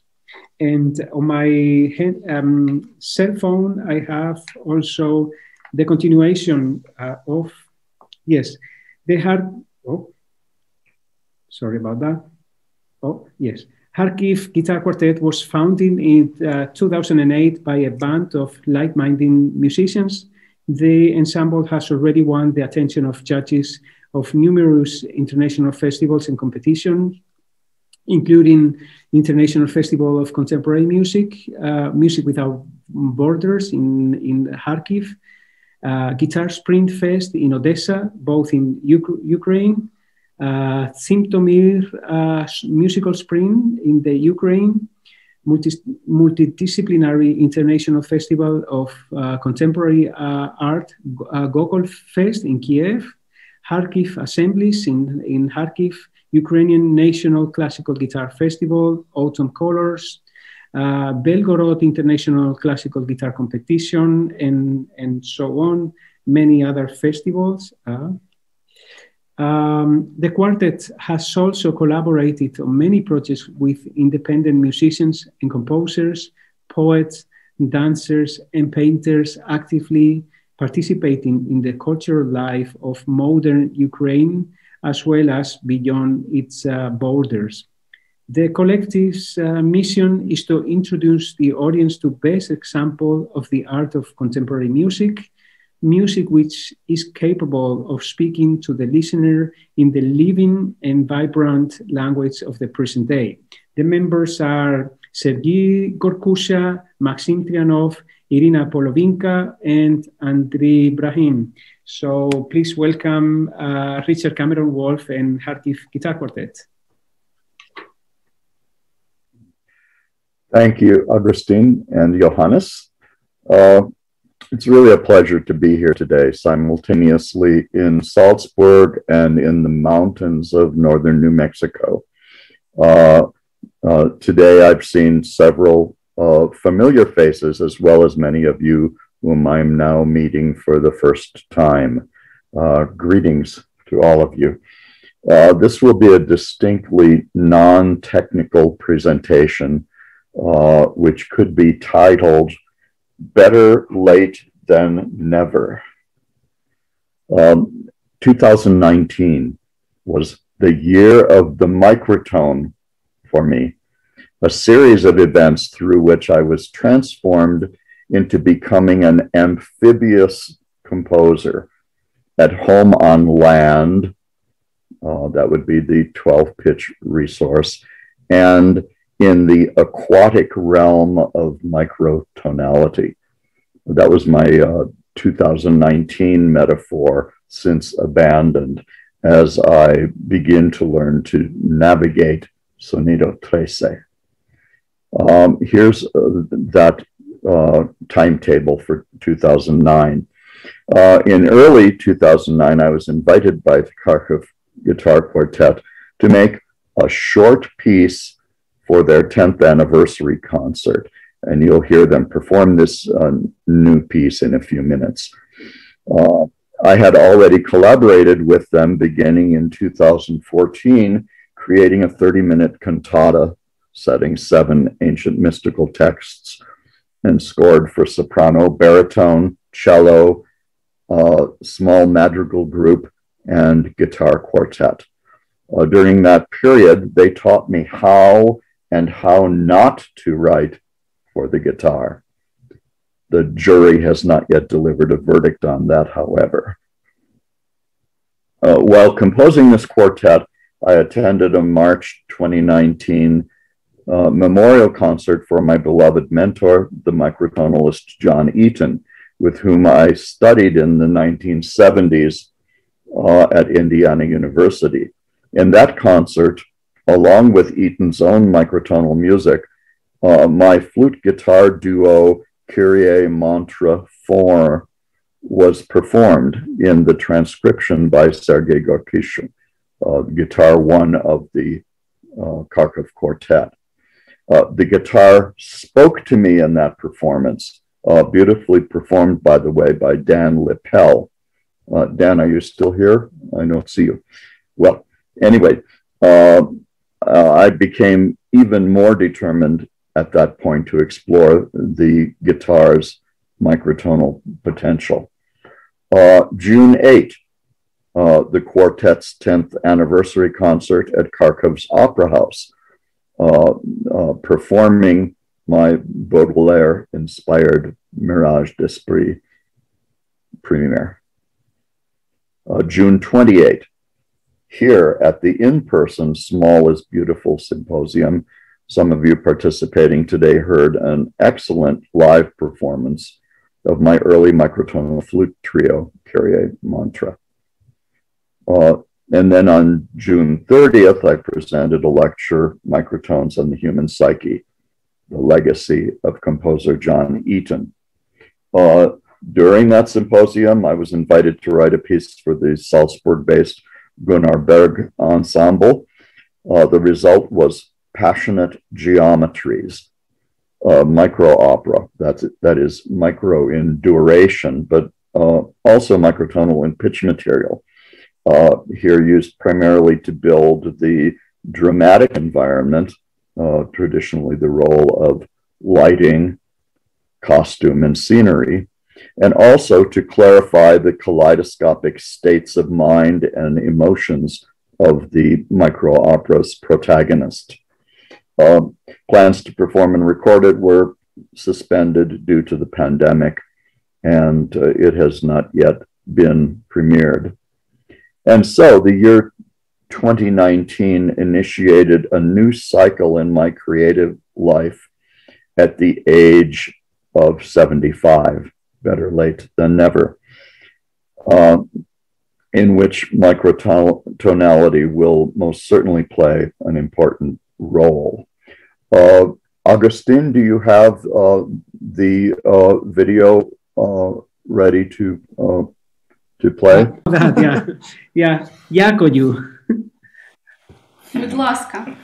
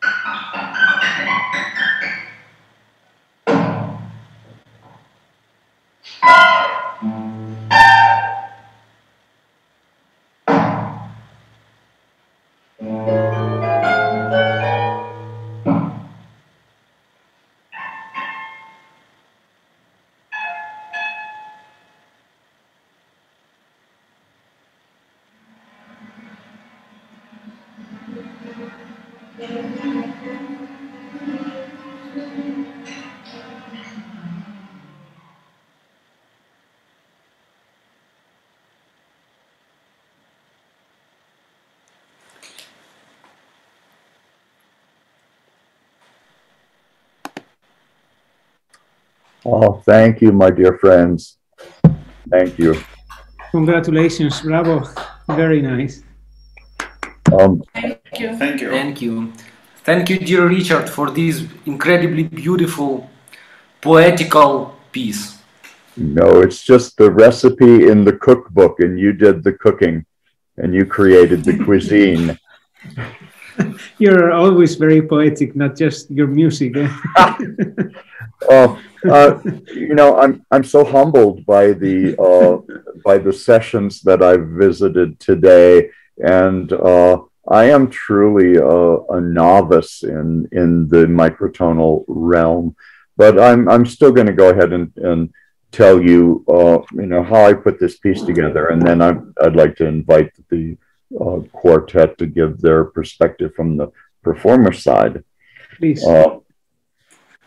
So first of all, um,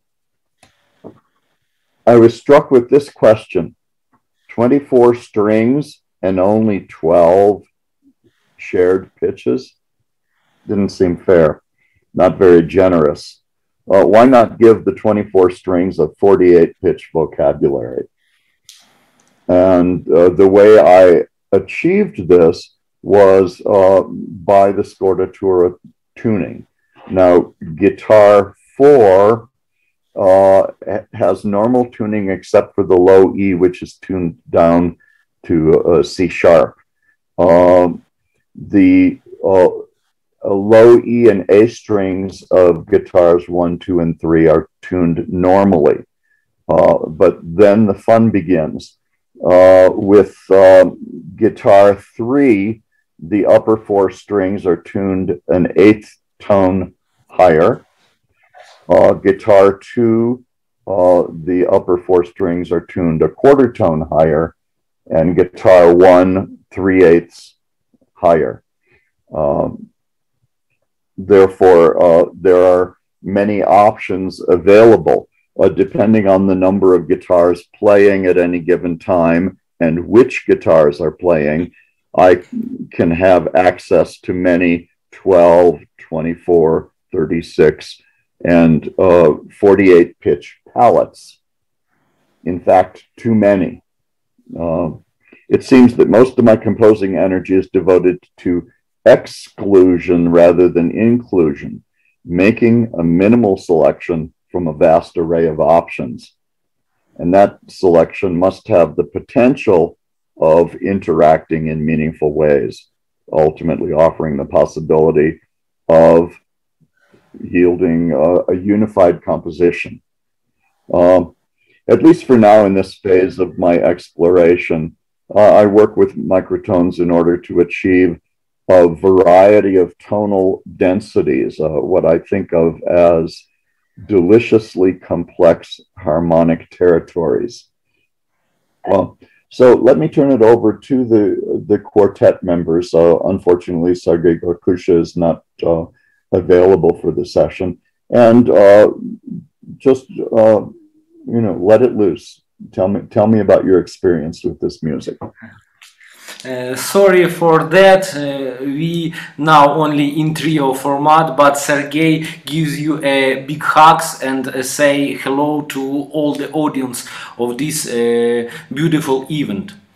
Uh, so I want to start with uh, some basic things. By the way, we now situated in the same room that we uh, recorded this piece, so it's actually homemade video. Sorry for that, but uh, lockdown uh, and uh, quarantine uh, difficulties are now um, shaping our art in this way.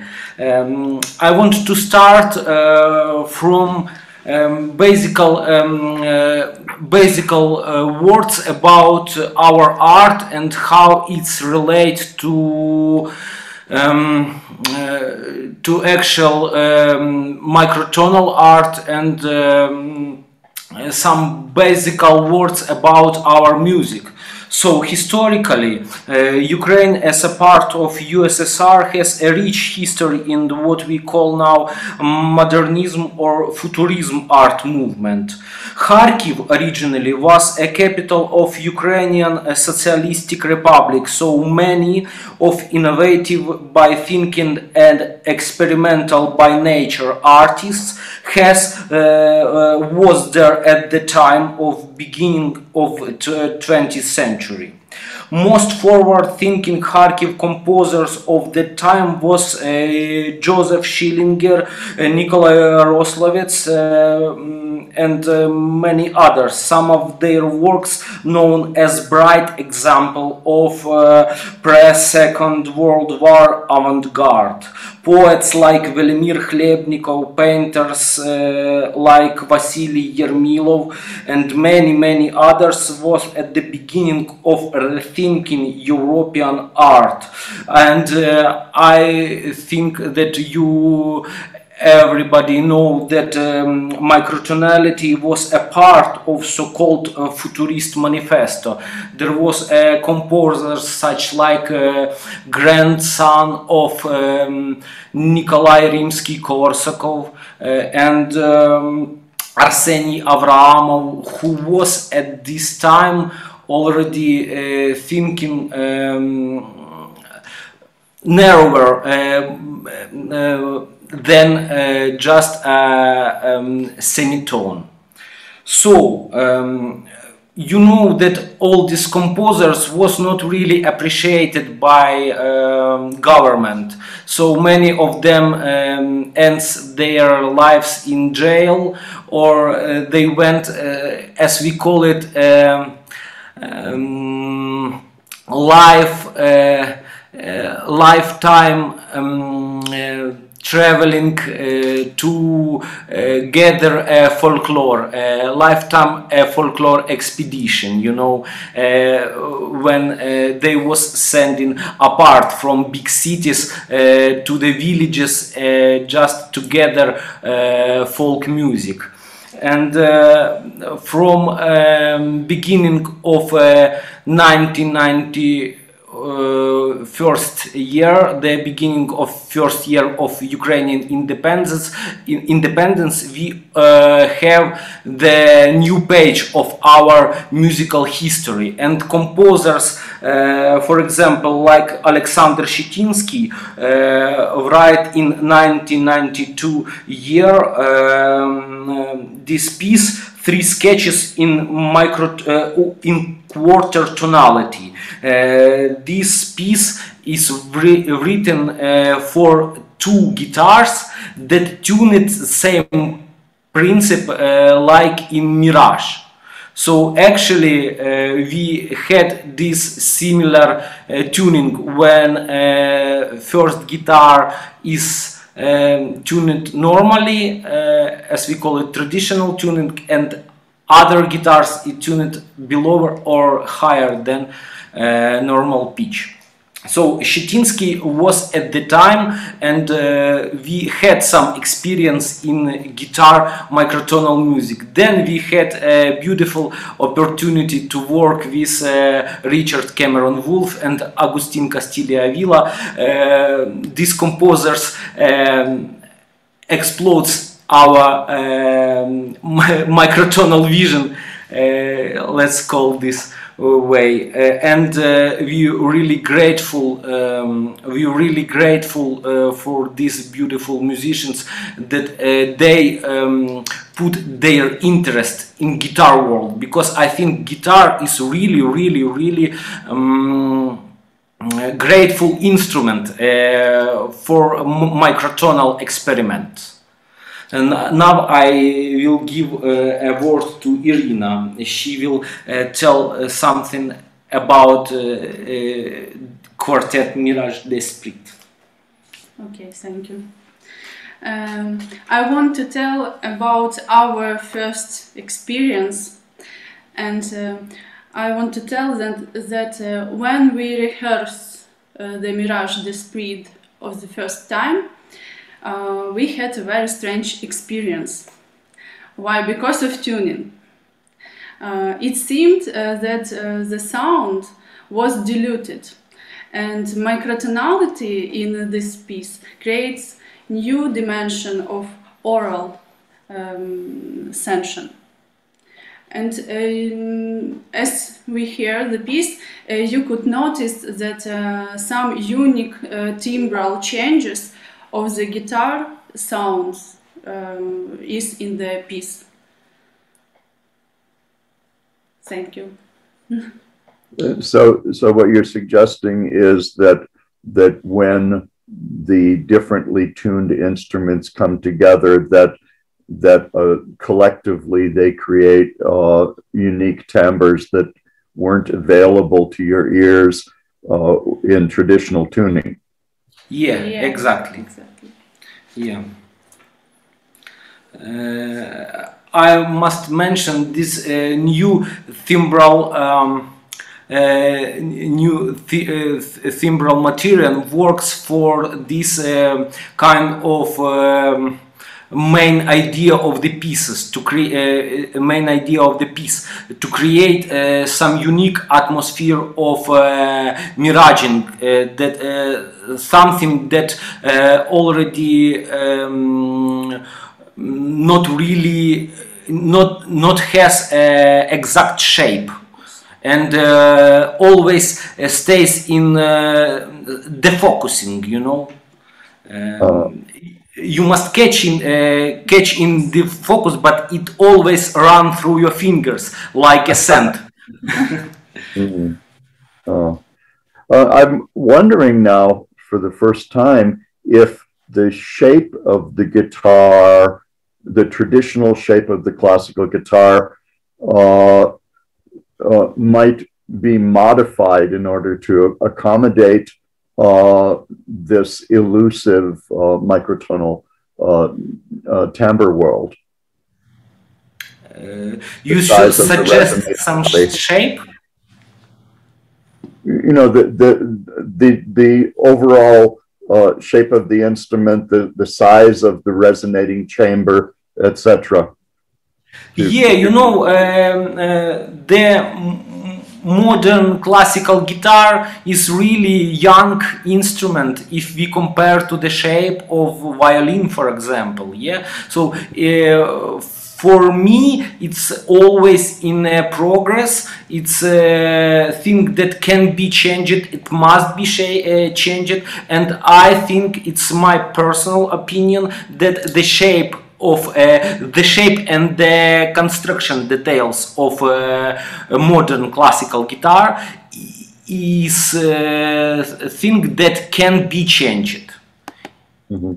can be um, discovered mm -hmm. in the sense of uh, new timbral possibilities mm. and by the way uh, any of you who are uh, listening to this conversation uh, please feel free to join. I don't think we need to wait for a question and answer session like we would have after uh, after a lecture. Uh, so if you have any questions uh, for the guitarists or for me uh, or any contributions to this discussion, please jump right in. Uh-huh. Thank you very much, Richard. I really love this format, this interview between the composer and the performers this is one of my favorite uh, formats. And I think it's very en- enriching, very intimate. And uh, yeah, thank you very much for your for your fantastic contribution. And uh, Kharkov Guitar Quartet, thank you for for this backup.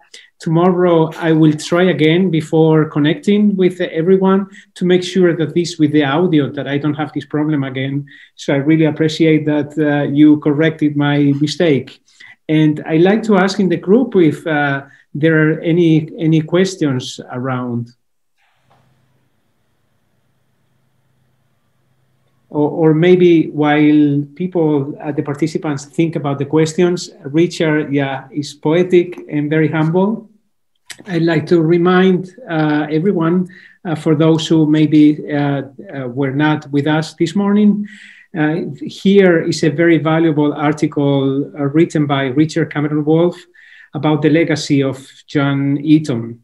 Uh, Richard, I have to send you the book still. Sorry, I, I, I was a bit busy these days. But on Monday, I, I sent everything, I promise. And um, I also like to mention, uh, I didn't want to be too personal at the beginning, uh, and I uh, I had the pleasure, uh, uh, and I, as a composer, I am very thankful to Kharkov Guitar Quartet because they are very responsible for two or three. Th- I can't remember. I'm sorry. I think three guitar quartets, which is one of my favorite combinations, uh, ensemble combinations.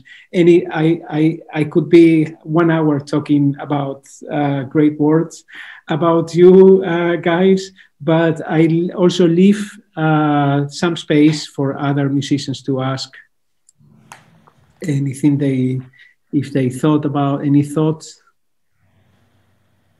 Okay. perhaps on the breaks during the day, uh, you should serve beer instead of coffee.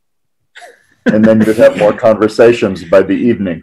Uh, and by the way, not by the way, beer. Also, there, there was one point I also I, I wanted to apologize publicly because I tried uh, to bring, I mean, we tried um, to bring Kharkov Guitar Quartet to the symposium in 2019. And through the Ukrainian Institute for Culture, unfortunately, I, I, I didn't succeed uh, to, bring, to bring you guys here. It's great that at least we see you, you are with us online but I hope that uh, next time I hope you can you can make it in the next physical edition. I really hope yeah, so. yeah, yeah. We're looking forward to meet you personally. yes. Wow. Oh, um, Irina, uh, are you wearing the red socks from the video? I was wondering. No oh, it's a pity. Not today. Uh, it's I, very I hot in Ukraine. You know, uh, we have um, about 30, um, 30 degree by, by Celsius now. oh, I see. I see. Well, I just want to explain to to the other people uh, uh hearing this uh, wonderful conversation, at least from my point of view, that there's no indication of red socks in the Mirage score. so it's part of the interpretation of the artist. But I, um, I will bring them to the next concert. Wonderful. Maybe from now on, a lot of people, a lot of quartets, uh, somebody will be will be wearing red socks. it's Oh. really. Well, all, all I four. found everything very poetic, really, the whole work. Uh, well, let me see. I think I had. Uh, uh, most most Eastern European folkloric music uh, is full of uh, microtonal inflection, uh, even specific songs in which certain pitches uh, are traditionally sung uh, away from the, uh, away from the uh, the usual twelve suspects, if we can call them that. Um, uh, that that isn't the case in in the United States, except in communities of nationalities which which had microtones in their tradition. Um, how do you, as as uh, Ukrainians, uh, process that? Uh, once you then go into the conservatory where everything has to be quote unquote in tune.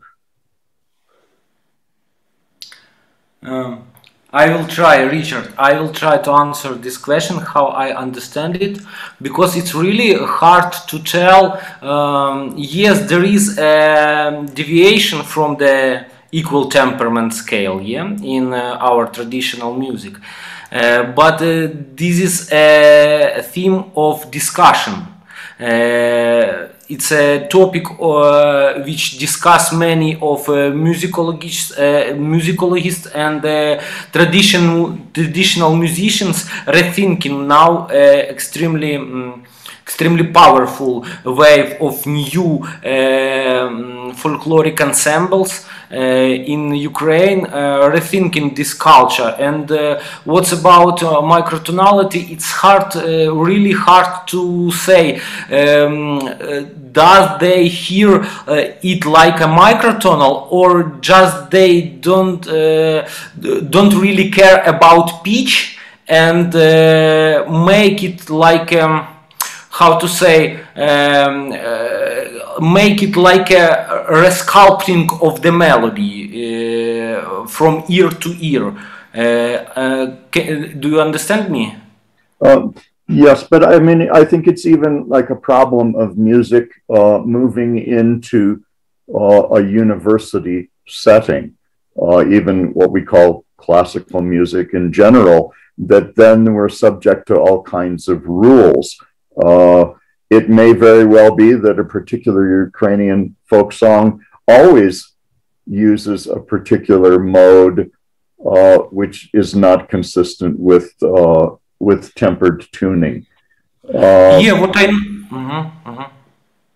uh, Uh, what i know please please tell Oh no, and, and and so I'm I'm I'm wondering if you know if if we end up going through this straitjacket of of uh, you know the the uh, musicological uh, theoretical rules that that dominated uh, university uh, musical thinking for uh, for decades and decades uh, and then to unlearn that in order to for our ears and our sensibility to welcome uh, microtones. you know uh, um, here is um, in this conference uh, uh, Viktor Pushkar uh, takes his part and uh, he is also from Ukraine and I think he knows this theme way better than me but I know from many sources that even traditional instrument bandura which is really like uh, for our guitarists is like a grandparent instrument. Bandura has its traditional unique tunings not equal temper temperament tuning and even uh, our um, really great and famous uh, bandurist uh, and theoretic um, Hnat Khotkevych uh, wrote in his book about uh, Bandura something about uh, not standard tunings, but it's I think it's a theme for further investigation. Mm. It's really interesting topic, and uh, now uh, musicologists in Ukraine really uh, just digging the surface um, to uh, dig wider and uh, discover a new uh, connections um, between tunings and different styles of singing and so on and so on. Oh, Mr. Locke, you have a, a, a question, a contribution? Uh, uh, is, uh, I just wanted to say Hans Günther Locke has a question. Yes, uh, just a, just a comment, and I think we should uh, should uh, we could say that no ethnic music culture will have 12 EDO as basic. So that that is clear, I think, and and uh, generally, uh, so uh, we have to reject that 12 EDO is something uh, something as a as a standard. It's only a standard in keyboard instruments in um, in Western Western classical music tradition. That's all, and um, and the others other thing, of course, if we talk about universities. So if we have the chance, uh, if we are as uh, as uh, many of us are university teachers, so we should change the rules. Yes. Uh-huh. Uh-huh. Um, well, I have another question if there's time, and, yes. and that is, you know, with with unfretted stringed instruments, let, us say let's say a string quartet, uh, when composing for uh, string quartet microtonally, how do does the performer deal with the subconscious tuning that the ear does in historical repertoire uh, and and avoid that subconscious tuning when uh, when dealing with a microtonally uh, generated melodic line, for example.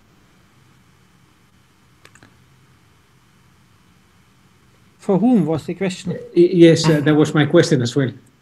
Well, uh, for for you, Mr. Locke, for anyone else who's uh, who's uh, viewing this, who has a thought or has had an experience with stringed instruments, uh, that unconscious tuning that an unfretted player does and has been trained to do uh, could be the enemy of of good performance of uh, microtonal score.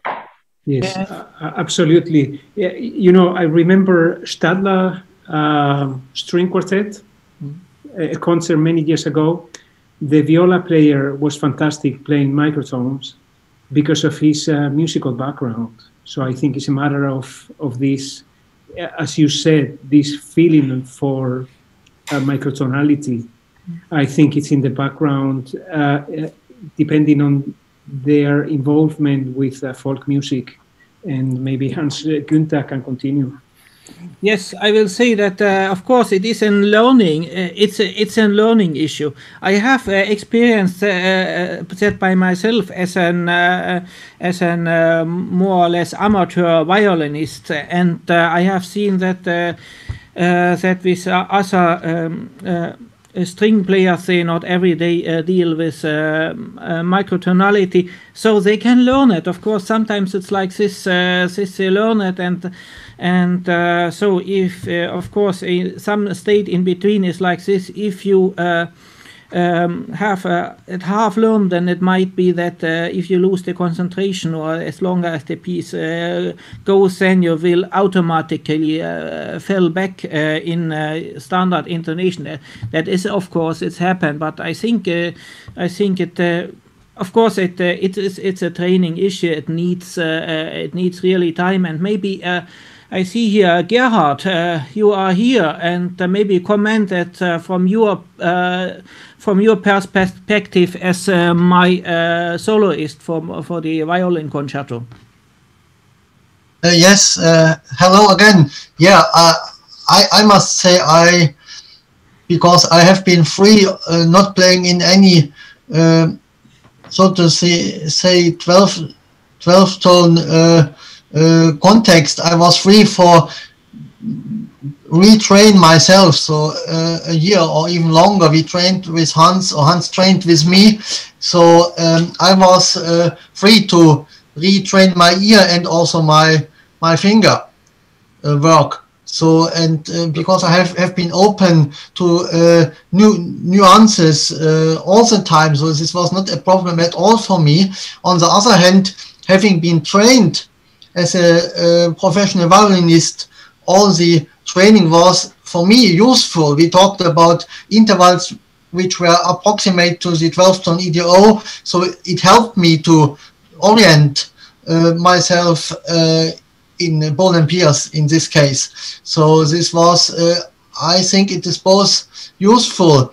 It is the level of being conscious about uh, what you are doing with your instrument. And uh, let's say I have never played the guitar, so frets, I'm afraid of frets. I'm sorry for all guitar players. I really admire your uh, your skills, etc. I re really love uh, the guitar, but I really also love the freedom of having no frets and being then uh, on my own, being a bit in the wild. But then I have to rely really on my ear and on my fingers. So this is uh, which which is amazing. I see a, a big uh, big future in thinking uh, in micro in micro tonal systems. I see it with my students at Tallinn University.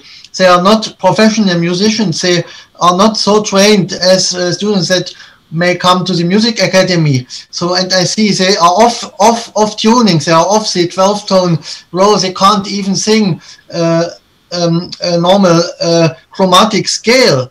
But I'm very uh, uh, interested in, in, in testing microtonal other scales on them because they might be fresh for, for receiving and perceiving other scales because they are not overloaded with the heavy tradition. So that's my short or long statement. Thank you. Oh, thank you.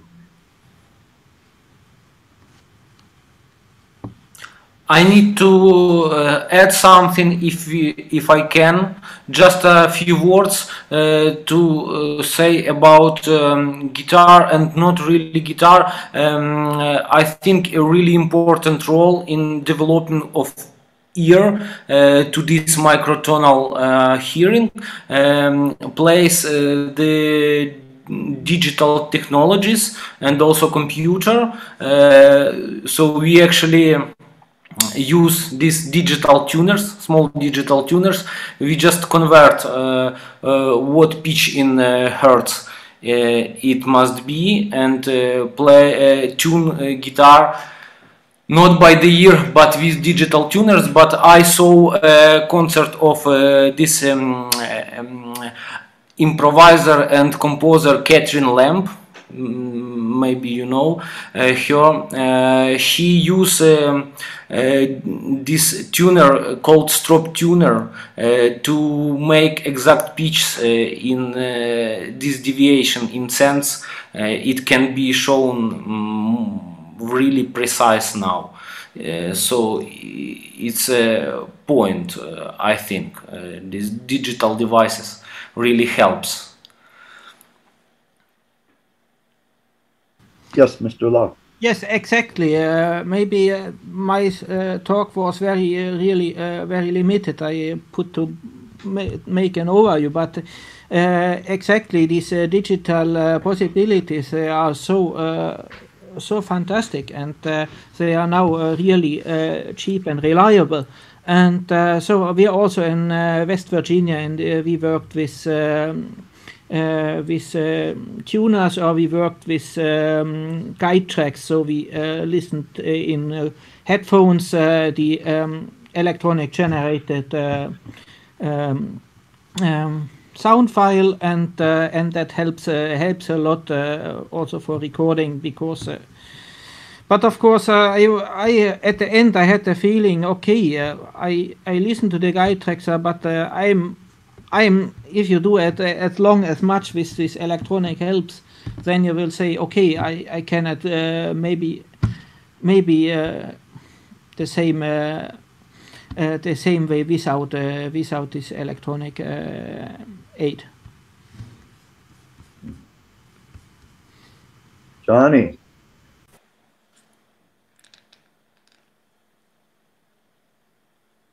Can you turn on your your microphone, Johnny? So uh, I was thinking, though, as a bassoon player, which is a different uh, approach to these issues, um, my first response to Richard is that you're speaking, I think, and I don't want to mansplain it or anything, you know, but I think I interpret what you're saying as a kind of uh, mental threats that are being crossed in performance. And it's almost as if we are pianos that have been uh, stretched at a particular set of frequencies, and when they change just one time, they're going to snap back to their previous positions. Um, to uh, Hans, uh, we used a Korg 212 tuner in the early 80s for all the instrumentalists, including the New York Philharmonic oboe player, um, to tune A440. It had a quartz memory accurate to one cent. And what we did is what we did with the metronome, we internalized. So there's like a series of people I could point to that did learn to hear one cent, but not to hear it, which is the way everyone talks about it, but to produce it. Actually, to produce it without hearing it first.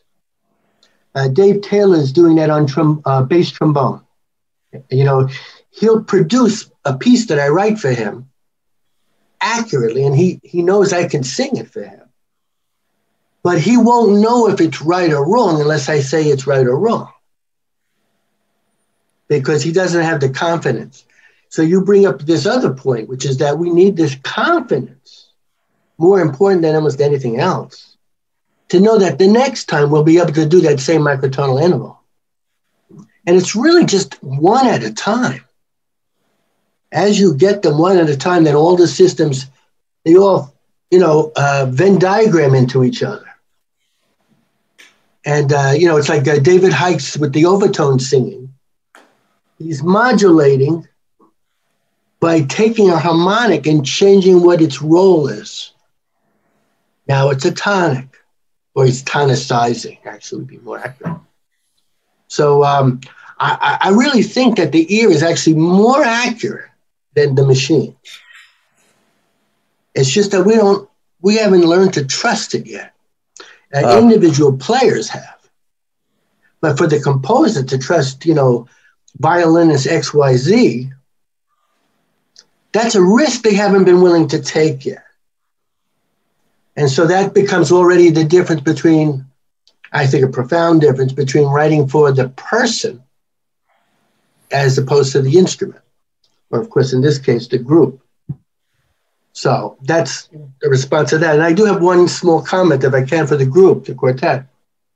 Uh, as a guitar pl- uh, uh, listener, because I'm not the, you know, I, boy, do I know my inadequacies in composing for guitar as a non-guitarist. Believe me, I, I do.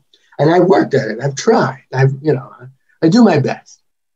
But what, what is interesting, what, what bothers me is the lack of certainty that when you press down the strings, whatever they're being pressed down, that they haven't slid only up, of course, unless you really work it.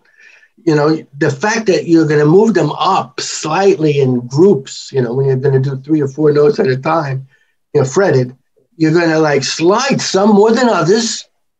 And so right away, without vibrato, I'm, I'm, I have this What we call it? A, a kind of a uncertainty principle. But, you know, people are going to be sensitive to different things. I'm sensitive to that. You know, I don't think it was a big issue in Richard's piece. But, you know, in, in another piece of music, it's, it's really a big issue. And of course, it could be, you know, basically it's getting back to this idea that once you, you know, I'm sorry if I'm talking a lot about this, but um, it, it's important, I think, that people hear a different side to this, which is what I hope I'm, I'm trying to present. So to my ear, I can measure it polymicrotonal because as I've intimated in an earliest question or comment, I think polymicrotonal, which is what I heard in Richard's piece, is the future of writing microtonal. I agree, definitely. Well, and most certainly, most certainly, we uh, hear best what most interests us. And so the big question, I think, is you know we've got this sonic garden, and people have have planted all kinds of uh, microtonality in that garden and harvested into pieces.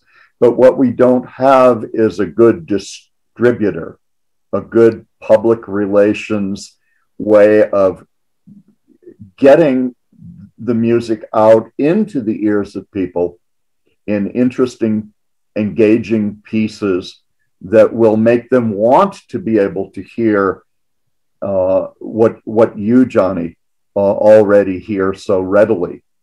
It comes from your your interest and your love for uh, microtonality. Uh, some of it is certainly, um, you know, a, a, gift. You know, we all have our skill sets, and uh, some of it is uh, ignoring the academic world, really ignoring it accepting that the whole idea of consonance and dissonance is social construct. Yeah. You know, um, and, and I try to give examples, and obviously, you know, using uh, Augustine's uh, term, it blows people's mind, and then they can't recover fast enough to respond because it, requ- it requires contemplation and and, and a, you know uh, uh, the integrity that you're going to be serious to develop your ear training that you're going to actually follow a plan, a method to improve what you hear. A lot of people, I think, um, are almost too uh, open about what they can hear because there's a wide variety, actually. So, you know, I, I've learned not to make expectations anymore of other people. But people have to make their own plans. And where is such a thing? So, of course, I'll be talking about that at the end of the uh, festival, you know, through a place where you can learn that, you know, because we don't have that. Mm. But um, I think the knowledge to have it is available, but it, it does require a certain um, orientation towards it, you know, a willingness, a, a road that's been followed already. Uh, you know, there's a there's a microtonal superstar for every instrument. I think at this point in history, you're a superstar for us. Well, for everyone. I, I try and, with the bassoon, and I'm sure you can hear 128 divisions. Well, I mean, you know, I still think the, the interesting thing about 128 is that I figured out the fingerings without a machine. And, and, and it's not with perfect pitch because I don't have it. So it's really just letting the bassoon become a monochord. Right? I mean, it's it's using natural uh, qualities that the instrument gives you, and you just have to be willing. Mm-hmm. It's just more arcane on a bassoon, you know. You've got all those extra keys, you know. you got velocity issues, you know. I mean, how many guitar players ask, I'm curious actually, think of starting the note above it or below it versus on top of it? You know, and then if you have a group, they all have to feel the same way or no? I would think yes. Mm-hmm. We once did a Bach performance, um, uh, Brandenburg 2. Actually, excuse, me, let me say it better. It's Brandenburg 4, actually. Uh, and um, it was our first Brandenburg in Werckmeister 3 tuning. Whether you think that's his tuning or not, that's what we did. But from the very beginning, we were all stunned because some started above the note, some started below the note. And we had a nauseous quality that it took us a couple bars to get, to get over it. And then we can lock in again and actually play the piece. But that's, that's real experimentation, that particular performance. It's, it's never been released. Mm. I would never release that. Mm. But you know, this is where the tuning has rules in performance that you have to become aware of. The whole one on a part or not doubling thirds makes a lot of sense. No parallel fifths, yet Bach does it. it makes sense if there's different size fifths. yes, yes, good point. No. So you, are writing for guitar quartet, Johnny? No. That's right. Sorry, no. uh, but this this is a, a, matchmaking symposium, isn't it? you can light a match.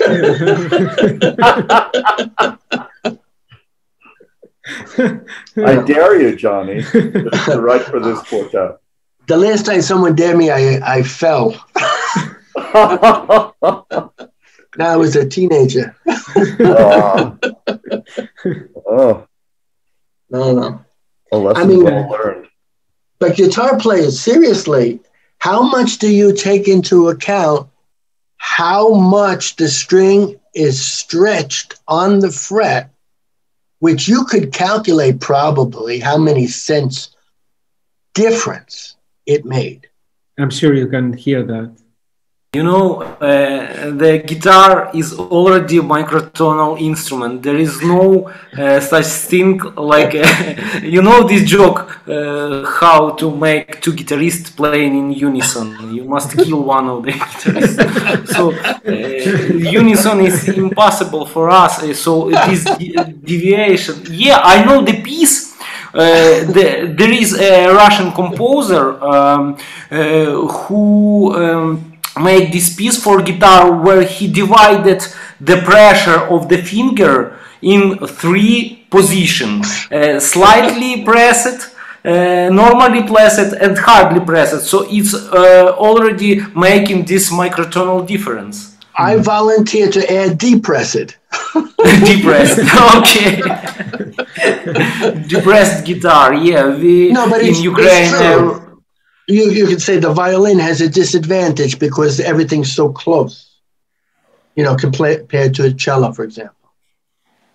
Right? Yeah. And, yeah. Uh, you know, I, I think you have a fudge factor. You know, that might be the American expression for how many cents up or down you can go. And then I think back to Jacob Elkin, where he's figured out that there's a fudge factor, basically that if you add the vibrato, it removes that fudge factor because it's all within three cents, four cents. So, you know, that's why I think some of the sound we make is calculated, you know, on one level or not, another, I should say, uh, based on the difference of the instrument. So on the bassoon, I can get that exact match, but I don't do it by thinking. Right? I can start below it. I can slide to wherever it needs to be. And then I have to do something with the mind. Right? I could look at a dot on the wall. Right? I used to do an exercise one uh, cent up, two cents down, uh, two cents up, one cent down, just when I'm playing a long note on a recorder until it sounded too artificial you know? And so then i could do a warmer sound with vibrato where i can bring in the harmonics in a different you know subtle way. So you know on the timbre side that's uh, very important what you said I, knew the story of uh, st petersburg not kharkiv but you know they were also a microtonal society they also were broken up they also were uh, thrown to you know, different cities in the rural area as punishment. Uh, so I knew the story from St. Petersburg, and uh, I hadn't, uh, uh, you know, locked onto Kharkiv. I know Odessa a little bit. where you know a whole culture of uh, Jewish music, you know, died was transformed into uh, uh, you know party music, you know, basically uh, klezmer. Yeah. Right. But that was orchestra music, and Russia was calling it jazz, you know, a, a Russian style of jazz.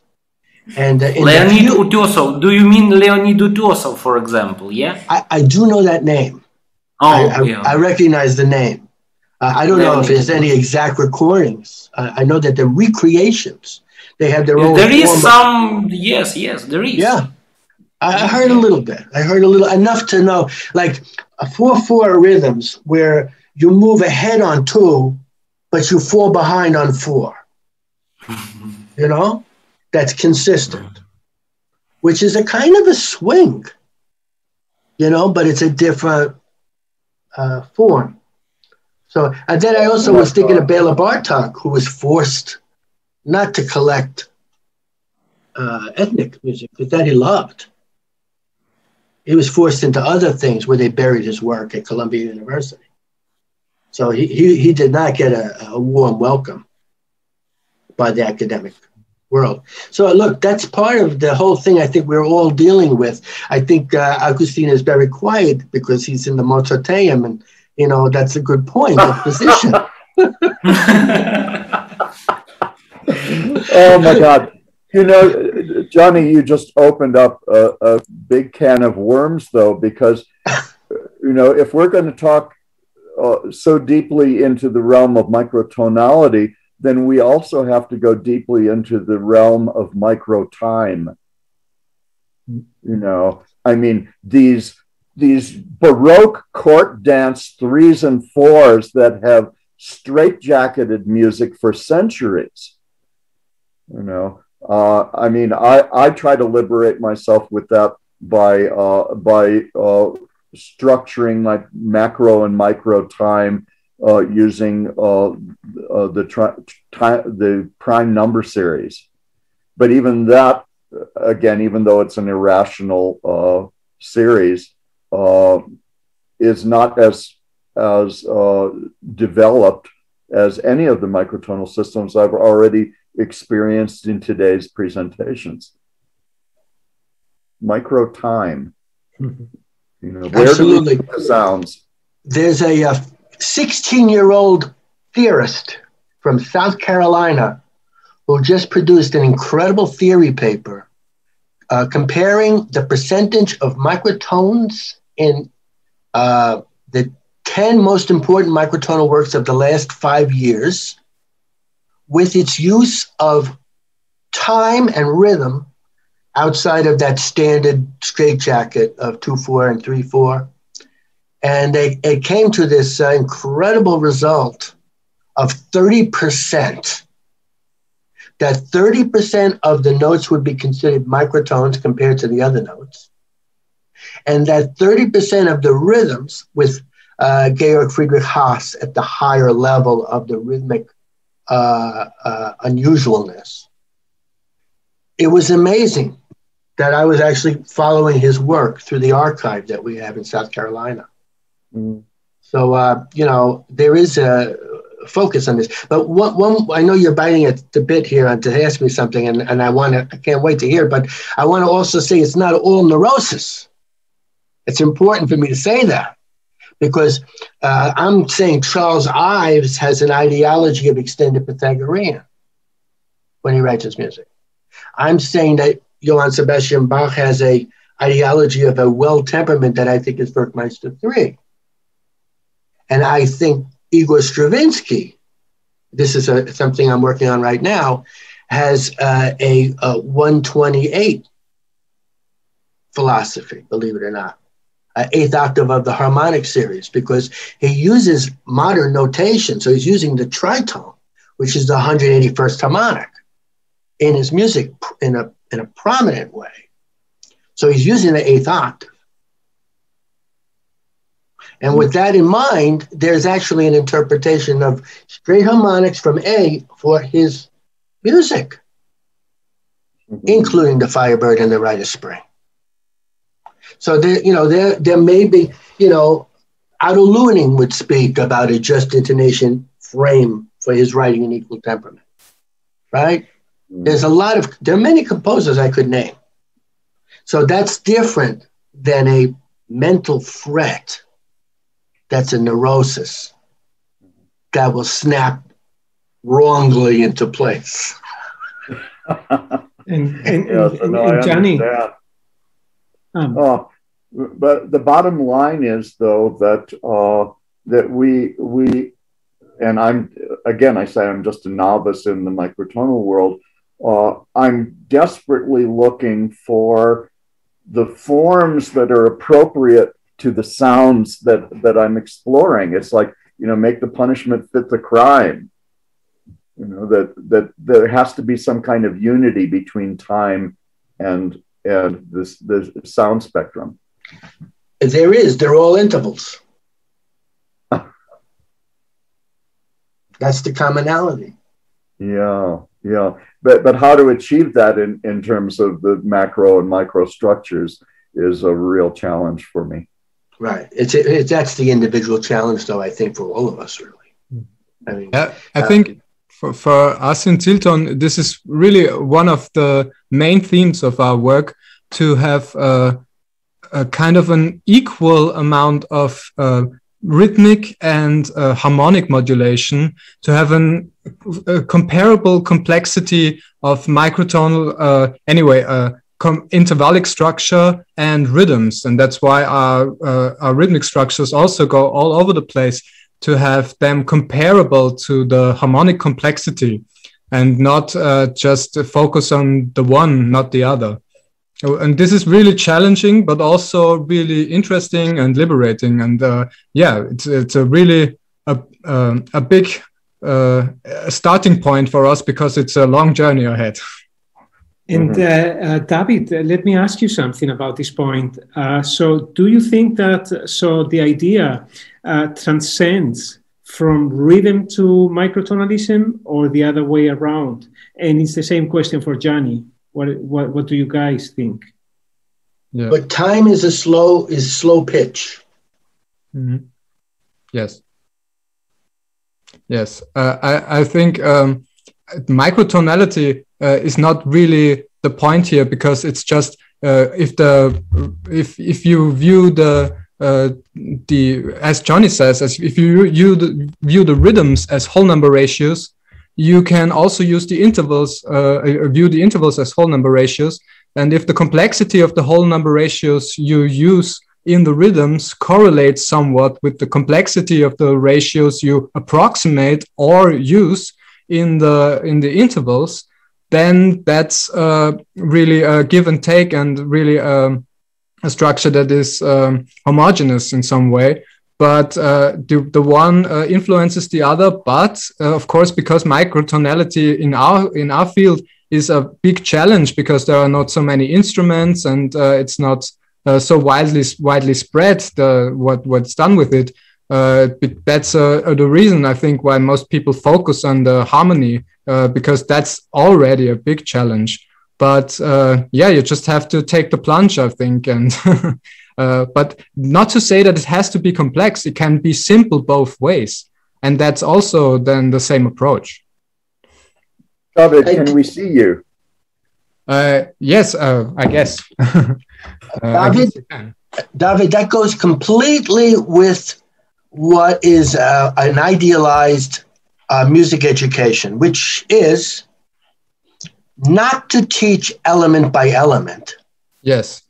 but to teach all of it simultaneously so that you have some kind of holistic approach to creation. Yes. Yes. You know, Oh, that you have, that's, right? that's Some, what- go ahead, sorry. no, no, no. You're right. That's what I called it once. Uh, a holistic approach. It's uh, yeah. Sorry, I didn't want to interrupt you. No, no, no. But that, you know, that's it. But this is, uh, you know, for the music uh, teacher who's going to teach today, we're going to do rhythm. Yes.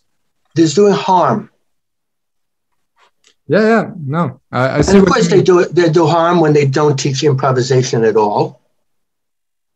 but that's that's also always uh, uh, um, uh, danger in universities ev in every field that uh, you it, by giving some people uh, uh, uh um, how to say um, already theorized already mm, uh, packed and sold uh, uh, a view of about something you and also the context of a university often gives people the oh i have to study this for this uh, examination and uh, it's not really interesting because that's not what where i am now and i just have to learn it and shovel it and uh, probably when i approach this field again i think back and it's ah this was this really hard thing to learn and microtonality is uh, definitely something, but uh, if it was taught on universities, uh, this uh, many would uh, be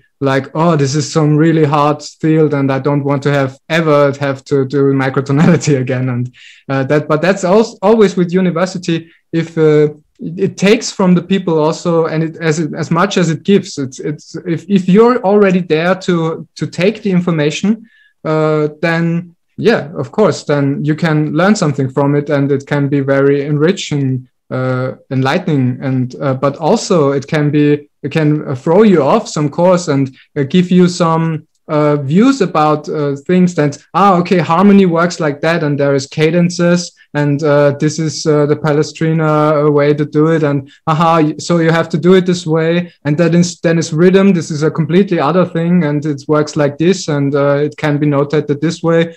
And in india they do it differently but not uh, not i don't know how exactly and so yeah but i think uh, it's i really love this holistic approach that you go from numbers and uh, from your own ear and experience and resonance uh, so, so, also a bit helmholtz approach kind of uh, to uh, what is physically and uh, and um, also from the experience what is music. And i think that's what you're preaching johnny. And but yeah it's in a university context you can have the best ambitions and concepts i think uh, it's uh, whatever way you do it it will always throw people off and others uh, will be uh, will be better off and others not. And uh, yeah it's uh, just a too interesting field to have it uh, another university i think. You have to approach it yourself. You have to learn it i think it's best if you just in yeah grow by learning it the hard way Yes, we are talking about intuition. Uh, when, when, for example, Johnny just mentioned this, uh, he told me this idea of Stravinsky thinking in yeah. 128. That's interesting. Uh, uh, Johnny, how much do you think he was aware of, and uh, do you think that was intuitively? And I'm starting is... to. I'm, I'm starting to think that's why he left St. Petersburg and never came back. Yes because with all that uh, microtonality in St. Petersburg, you know, like we were just talking about in Ukraine, um, there was nobody doing that. There was nobody. His grandson was doing just quarter tones. You know, so there was not. Uh, you know, if you found somebody in mean tone or harmonics or you know just even. Uh, but he, you know, it's not just overtone series because you know you can literally, uh, and and you know, and I use the word literal. I mean it's in the score that it's based on A. And there's nothing more natural in measuring harmonics than to start with an A. Mm-hmm. You know, it, it, makes it just makes spelling clear. Mm, and yeah. so, you know, there's a very famous response to a question that Stravinsky gave, you know, to somebody that was his assistant, you know, Croft. You know, uh, uh, Richard Craft was it? Not Richard Craft. Robert sorry. Craft, uh, yeah. yeah. What was his name again? Robert Craft. Robert Craft, a, a conductor. Yeah. Um, he asked, you know, what's the most important thing, Mr. Stravinsky, my good friend? What's the most, who I drink with all the time, what's the most important thing to have a future in the world? You know, I'm, I'm, of course, I'm just brutalizing the actual words, but I'm paraphrasing. But there's no doubt the answer was the word pitch. And he brings in Vicentino. And he brings in uh, Adrian Willaert, uh, who he says makes a tone machine. ascribes 29 to the archicembalo. I don't think that's right either. You know, it just shows you though what he's thinking. Then he immediately talks about an experience in Japan of a kind of gagaku, you know, where he's not even aware that each instrument has its own tuning, but he locks into the Noh flute, right? It's like a perfect distillation of his answer that it has to include ethnic music.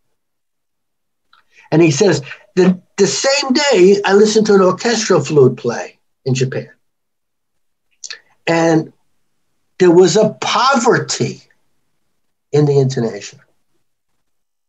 So, you know, if the sharp and the flat were no longer impoverished so that they were different, and you knew it wasn't a, a spiral of fifths like Ives, but in fact just a harmonic series, then it would be very easy to give a 128 interpretation because it includes equal temperament. Mm. Mm. And e- equal temperament actually does have to do with the eighth octave of the overtone series, which eighth octaves is the uh, is the range of the orchestra. I mean, eight octaves. Uh, uh, you know, I want you guys to know since I saw you last, and some new people here, nice to meet you. I uh, wrote a piece for cello in the ninth octave of the overtone series. Hmm. And only the virgin notes, meaning the notes that don't get repeated from previous octaves. So guess what? It has 128 new pitches. Oh. Right? It's still 128, except it's the wrong 128. Mm. so I, I, I call it um, uh, asteroid belt. Because it's like we're no longer with the planets. It's its own kind of you know i don't know how i can't i can't give it words until we hear it. But it basically is all the sounds you never heard all the relationships you never heard. I think the only one you might recognize maybe is a sixth tone that's it mm. Mm. so you know i mean there's still room for explore, exploration of course uh, well, getting back to this uh, notion of the, the, holistic identity of a musical composition, uh, yeah. did we ever get there in the first place? I don't remember. But uh, the biggest enemy is that it's a holistic bringing together of all these things that we've named in such detail, right down to their underwear. No. You know, the that there's so many names. You know, as soon as you name two things, you isolate them from each other.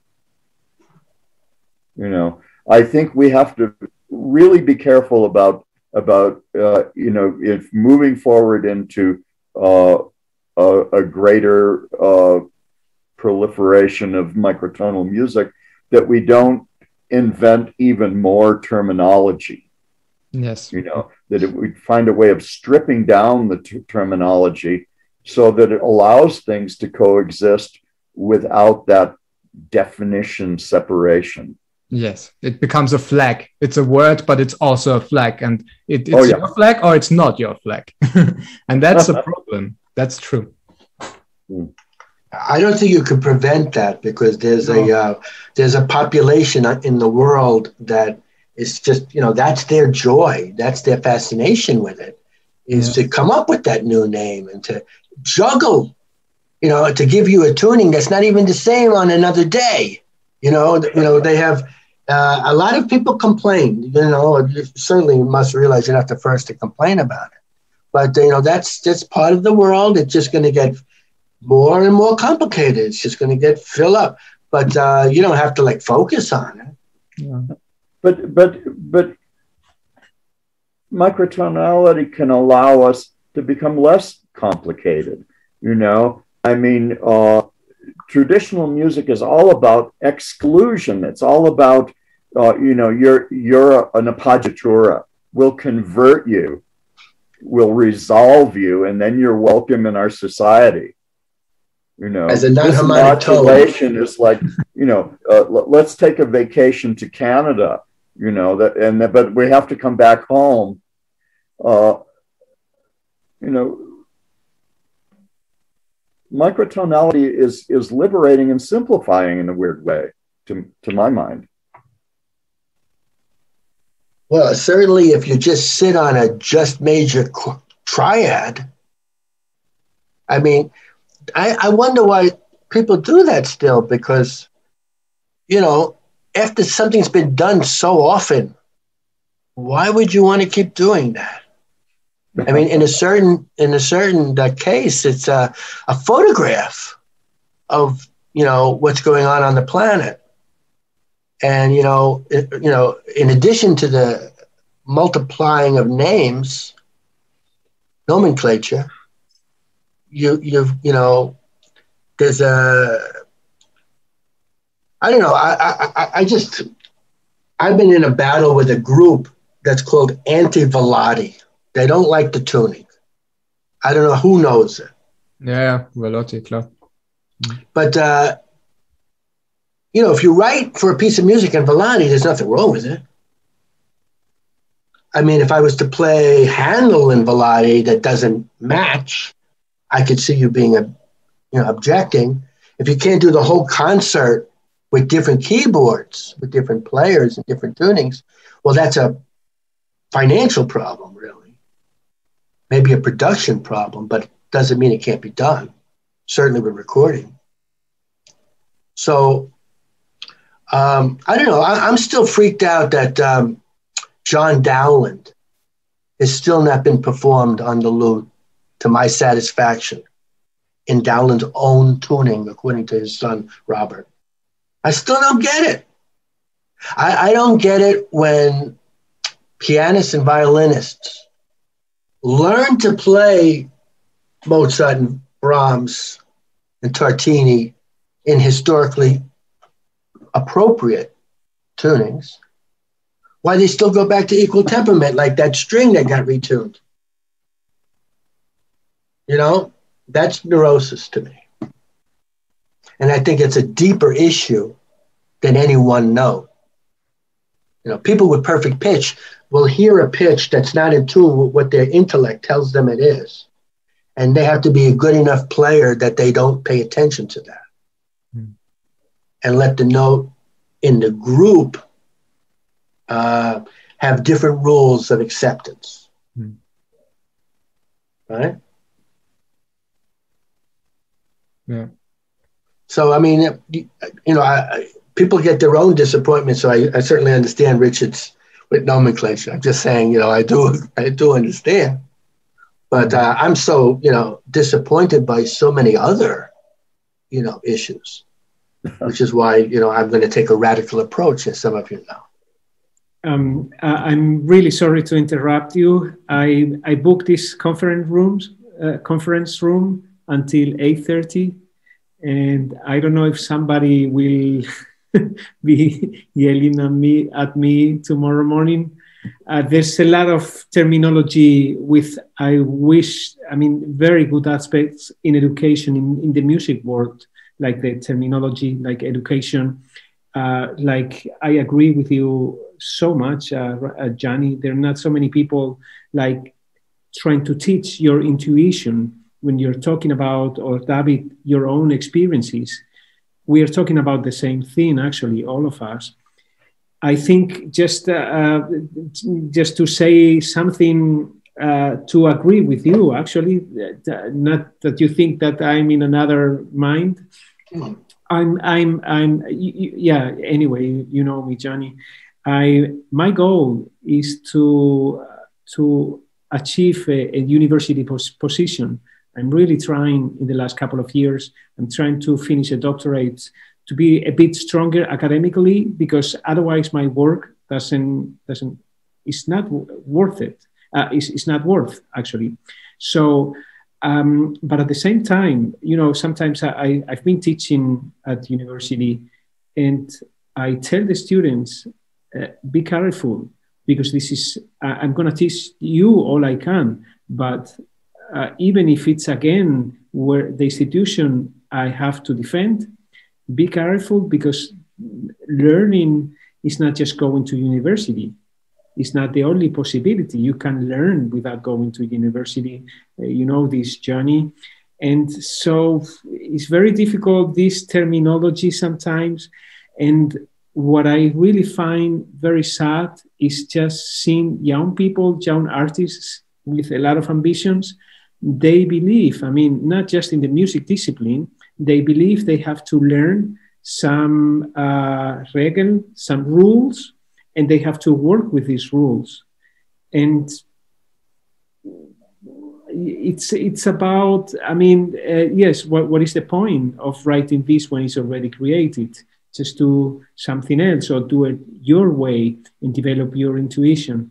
So that's uh, really i think we all agree. And but not let's not be pessimistic. I think we are at these ideas new ideas are really growing i see a lot of talented people, young people as well.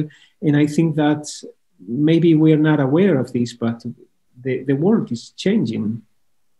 And Hans and Günther, okay, really, uh, just we should really be trying to finish, otherwise they're gonna they're gonna be very mad at me.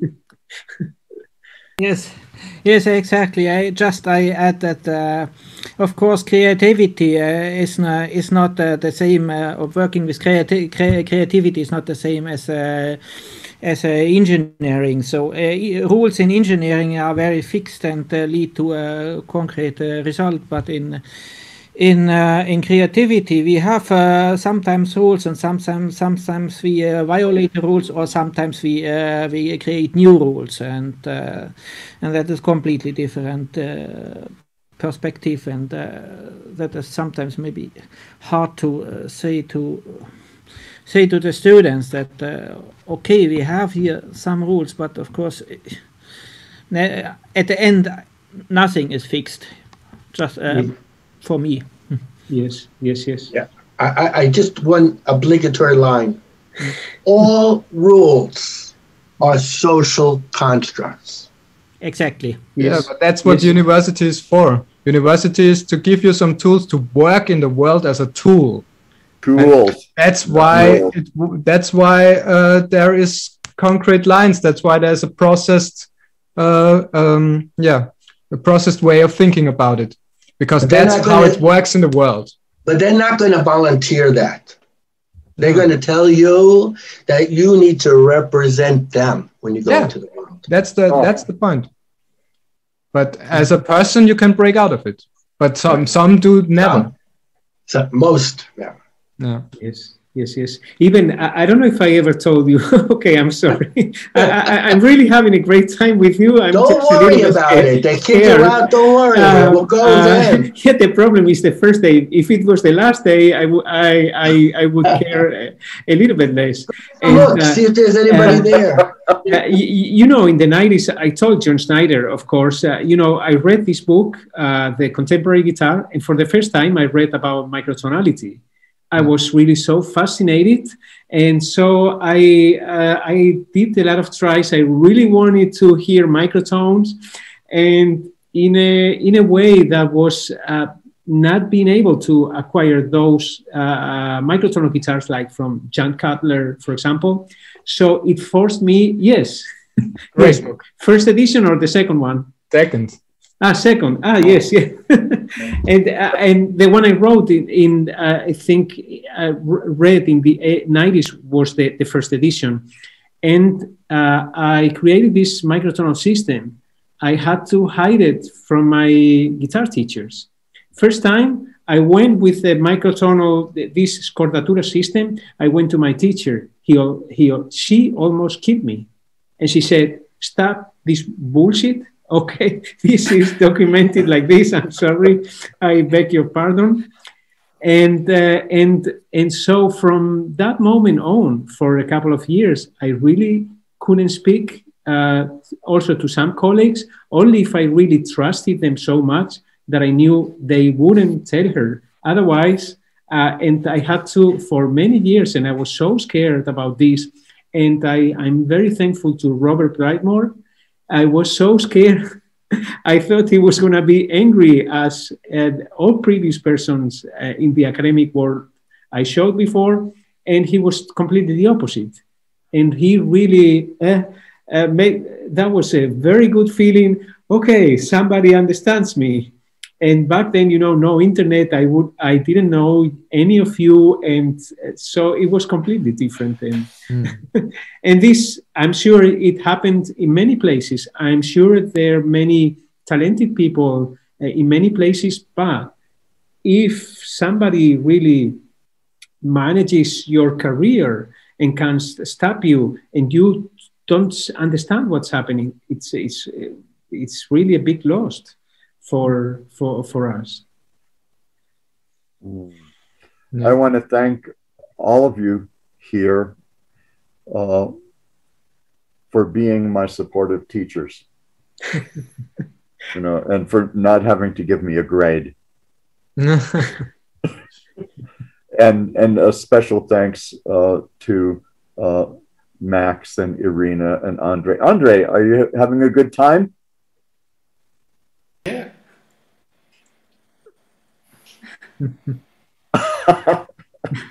A man of very few words, but, but wonderful notes.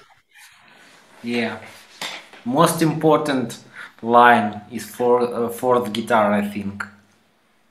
Oh, yeah. Yeah. yeah. It's It holds, it holds the quartet together. okay Fundamental frequency. Sometimes. yes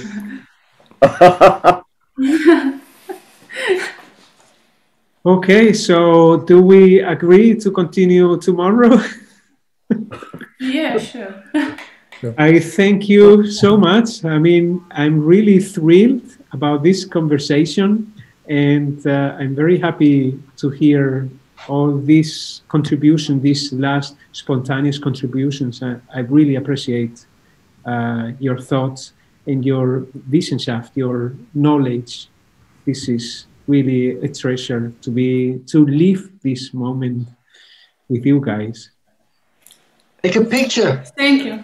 Yes, Thank yes, very yes, much. yes. La- one last picture. wait, wait, let's take a quick picture. Yes. Everybody shows the face. Johnny, lift your head. Okay, so Johnny. cheese. Yes. Okay, uh, Jeez. okay. Ah, Ivan, Ivan. Okay, it's great to see you. Ivan, the other one is missing. Ah, okay, great. Thank you so much. Grazie mille. Okay, cheese.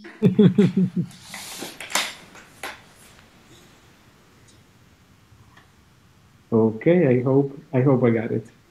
Okay, so I will post some pictures in in Facebook at the Ekmelic page, and have a wonderful evening or a wonderful day for some of you. Wonderful night in in the Ukraine, and uh, thank you so very much. We will continue tomorrow, and big Thank hugs to all of you. Thank you very much. Bye bye. Bye bye. Thank you. Bye bye. Bye bye. Bye bye. Good night. Bye.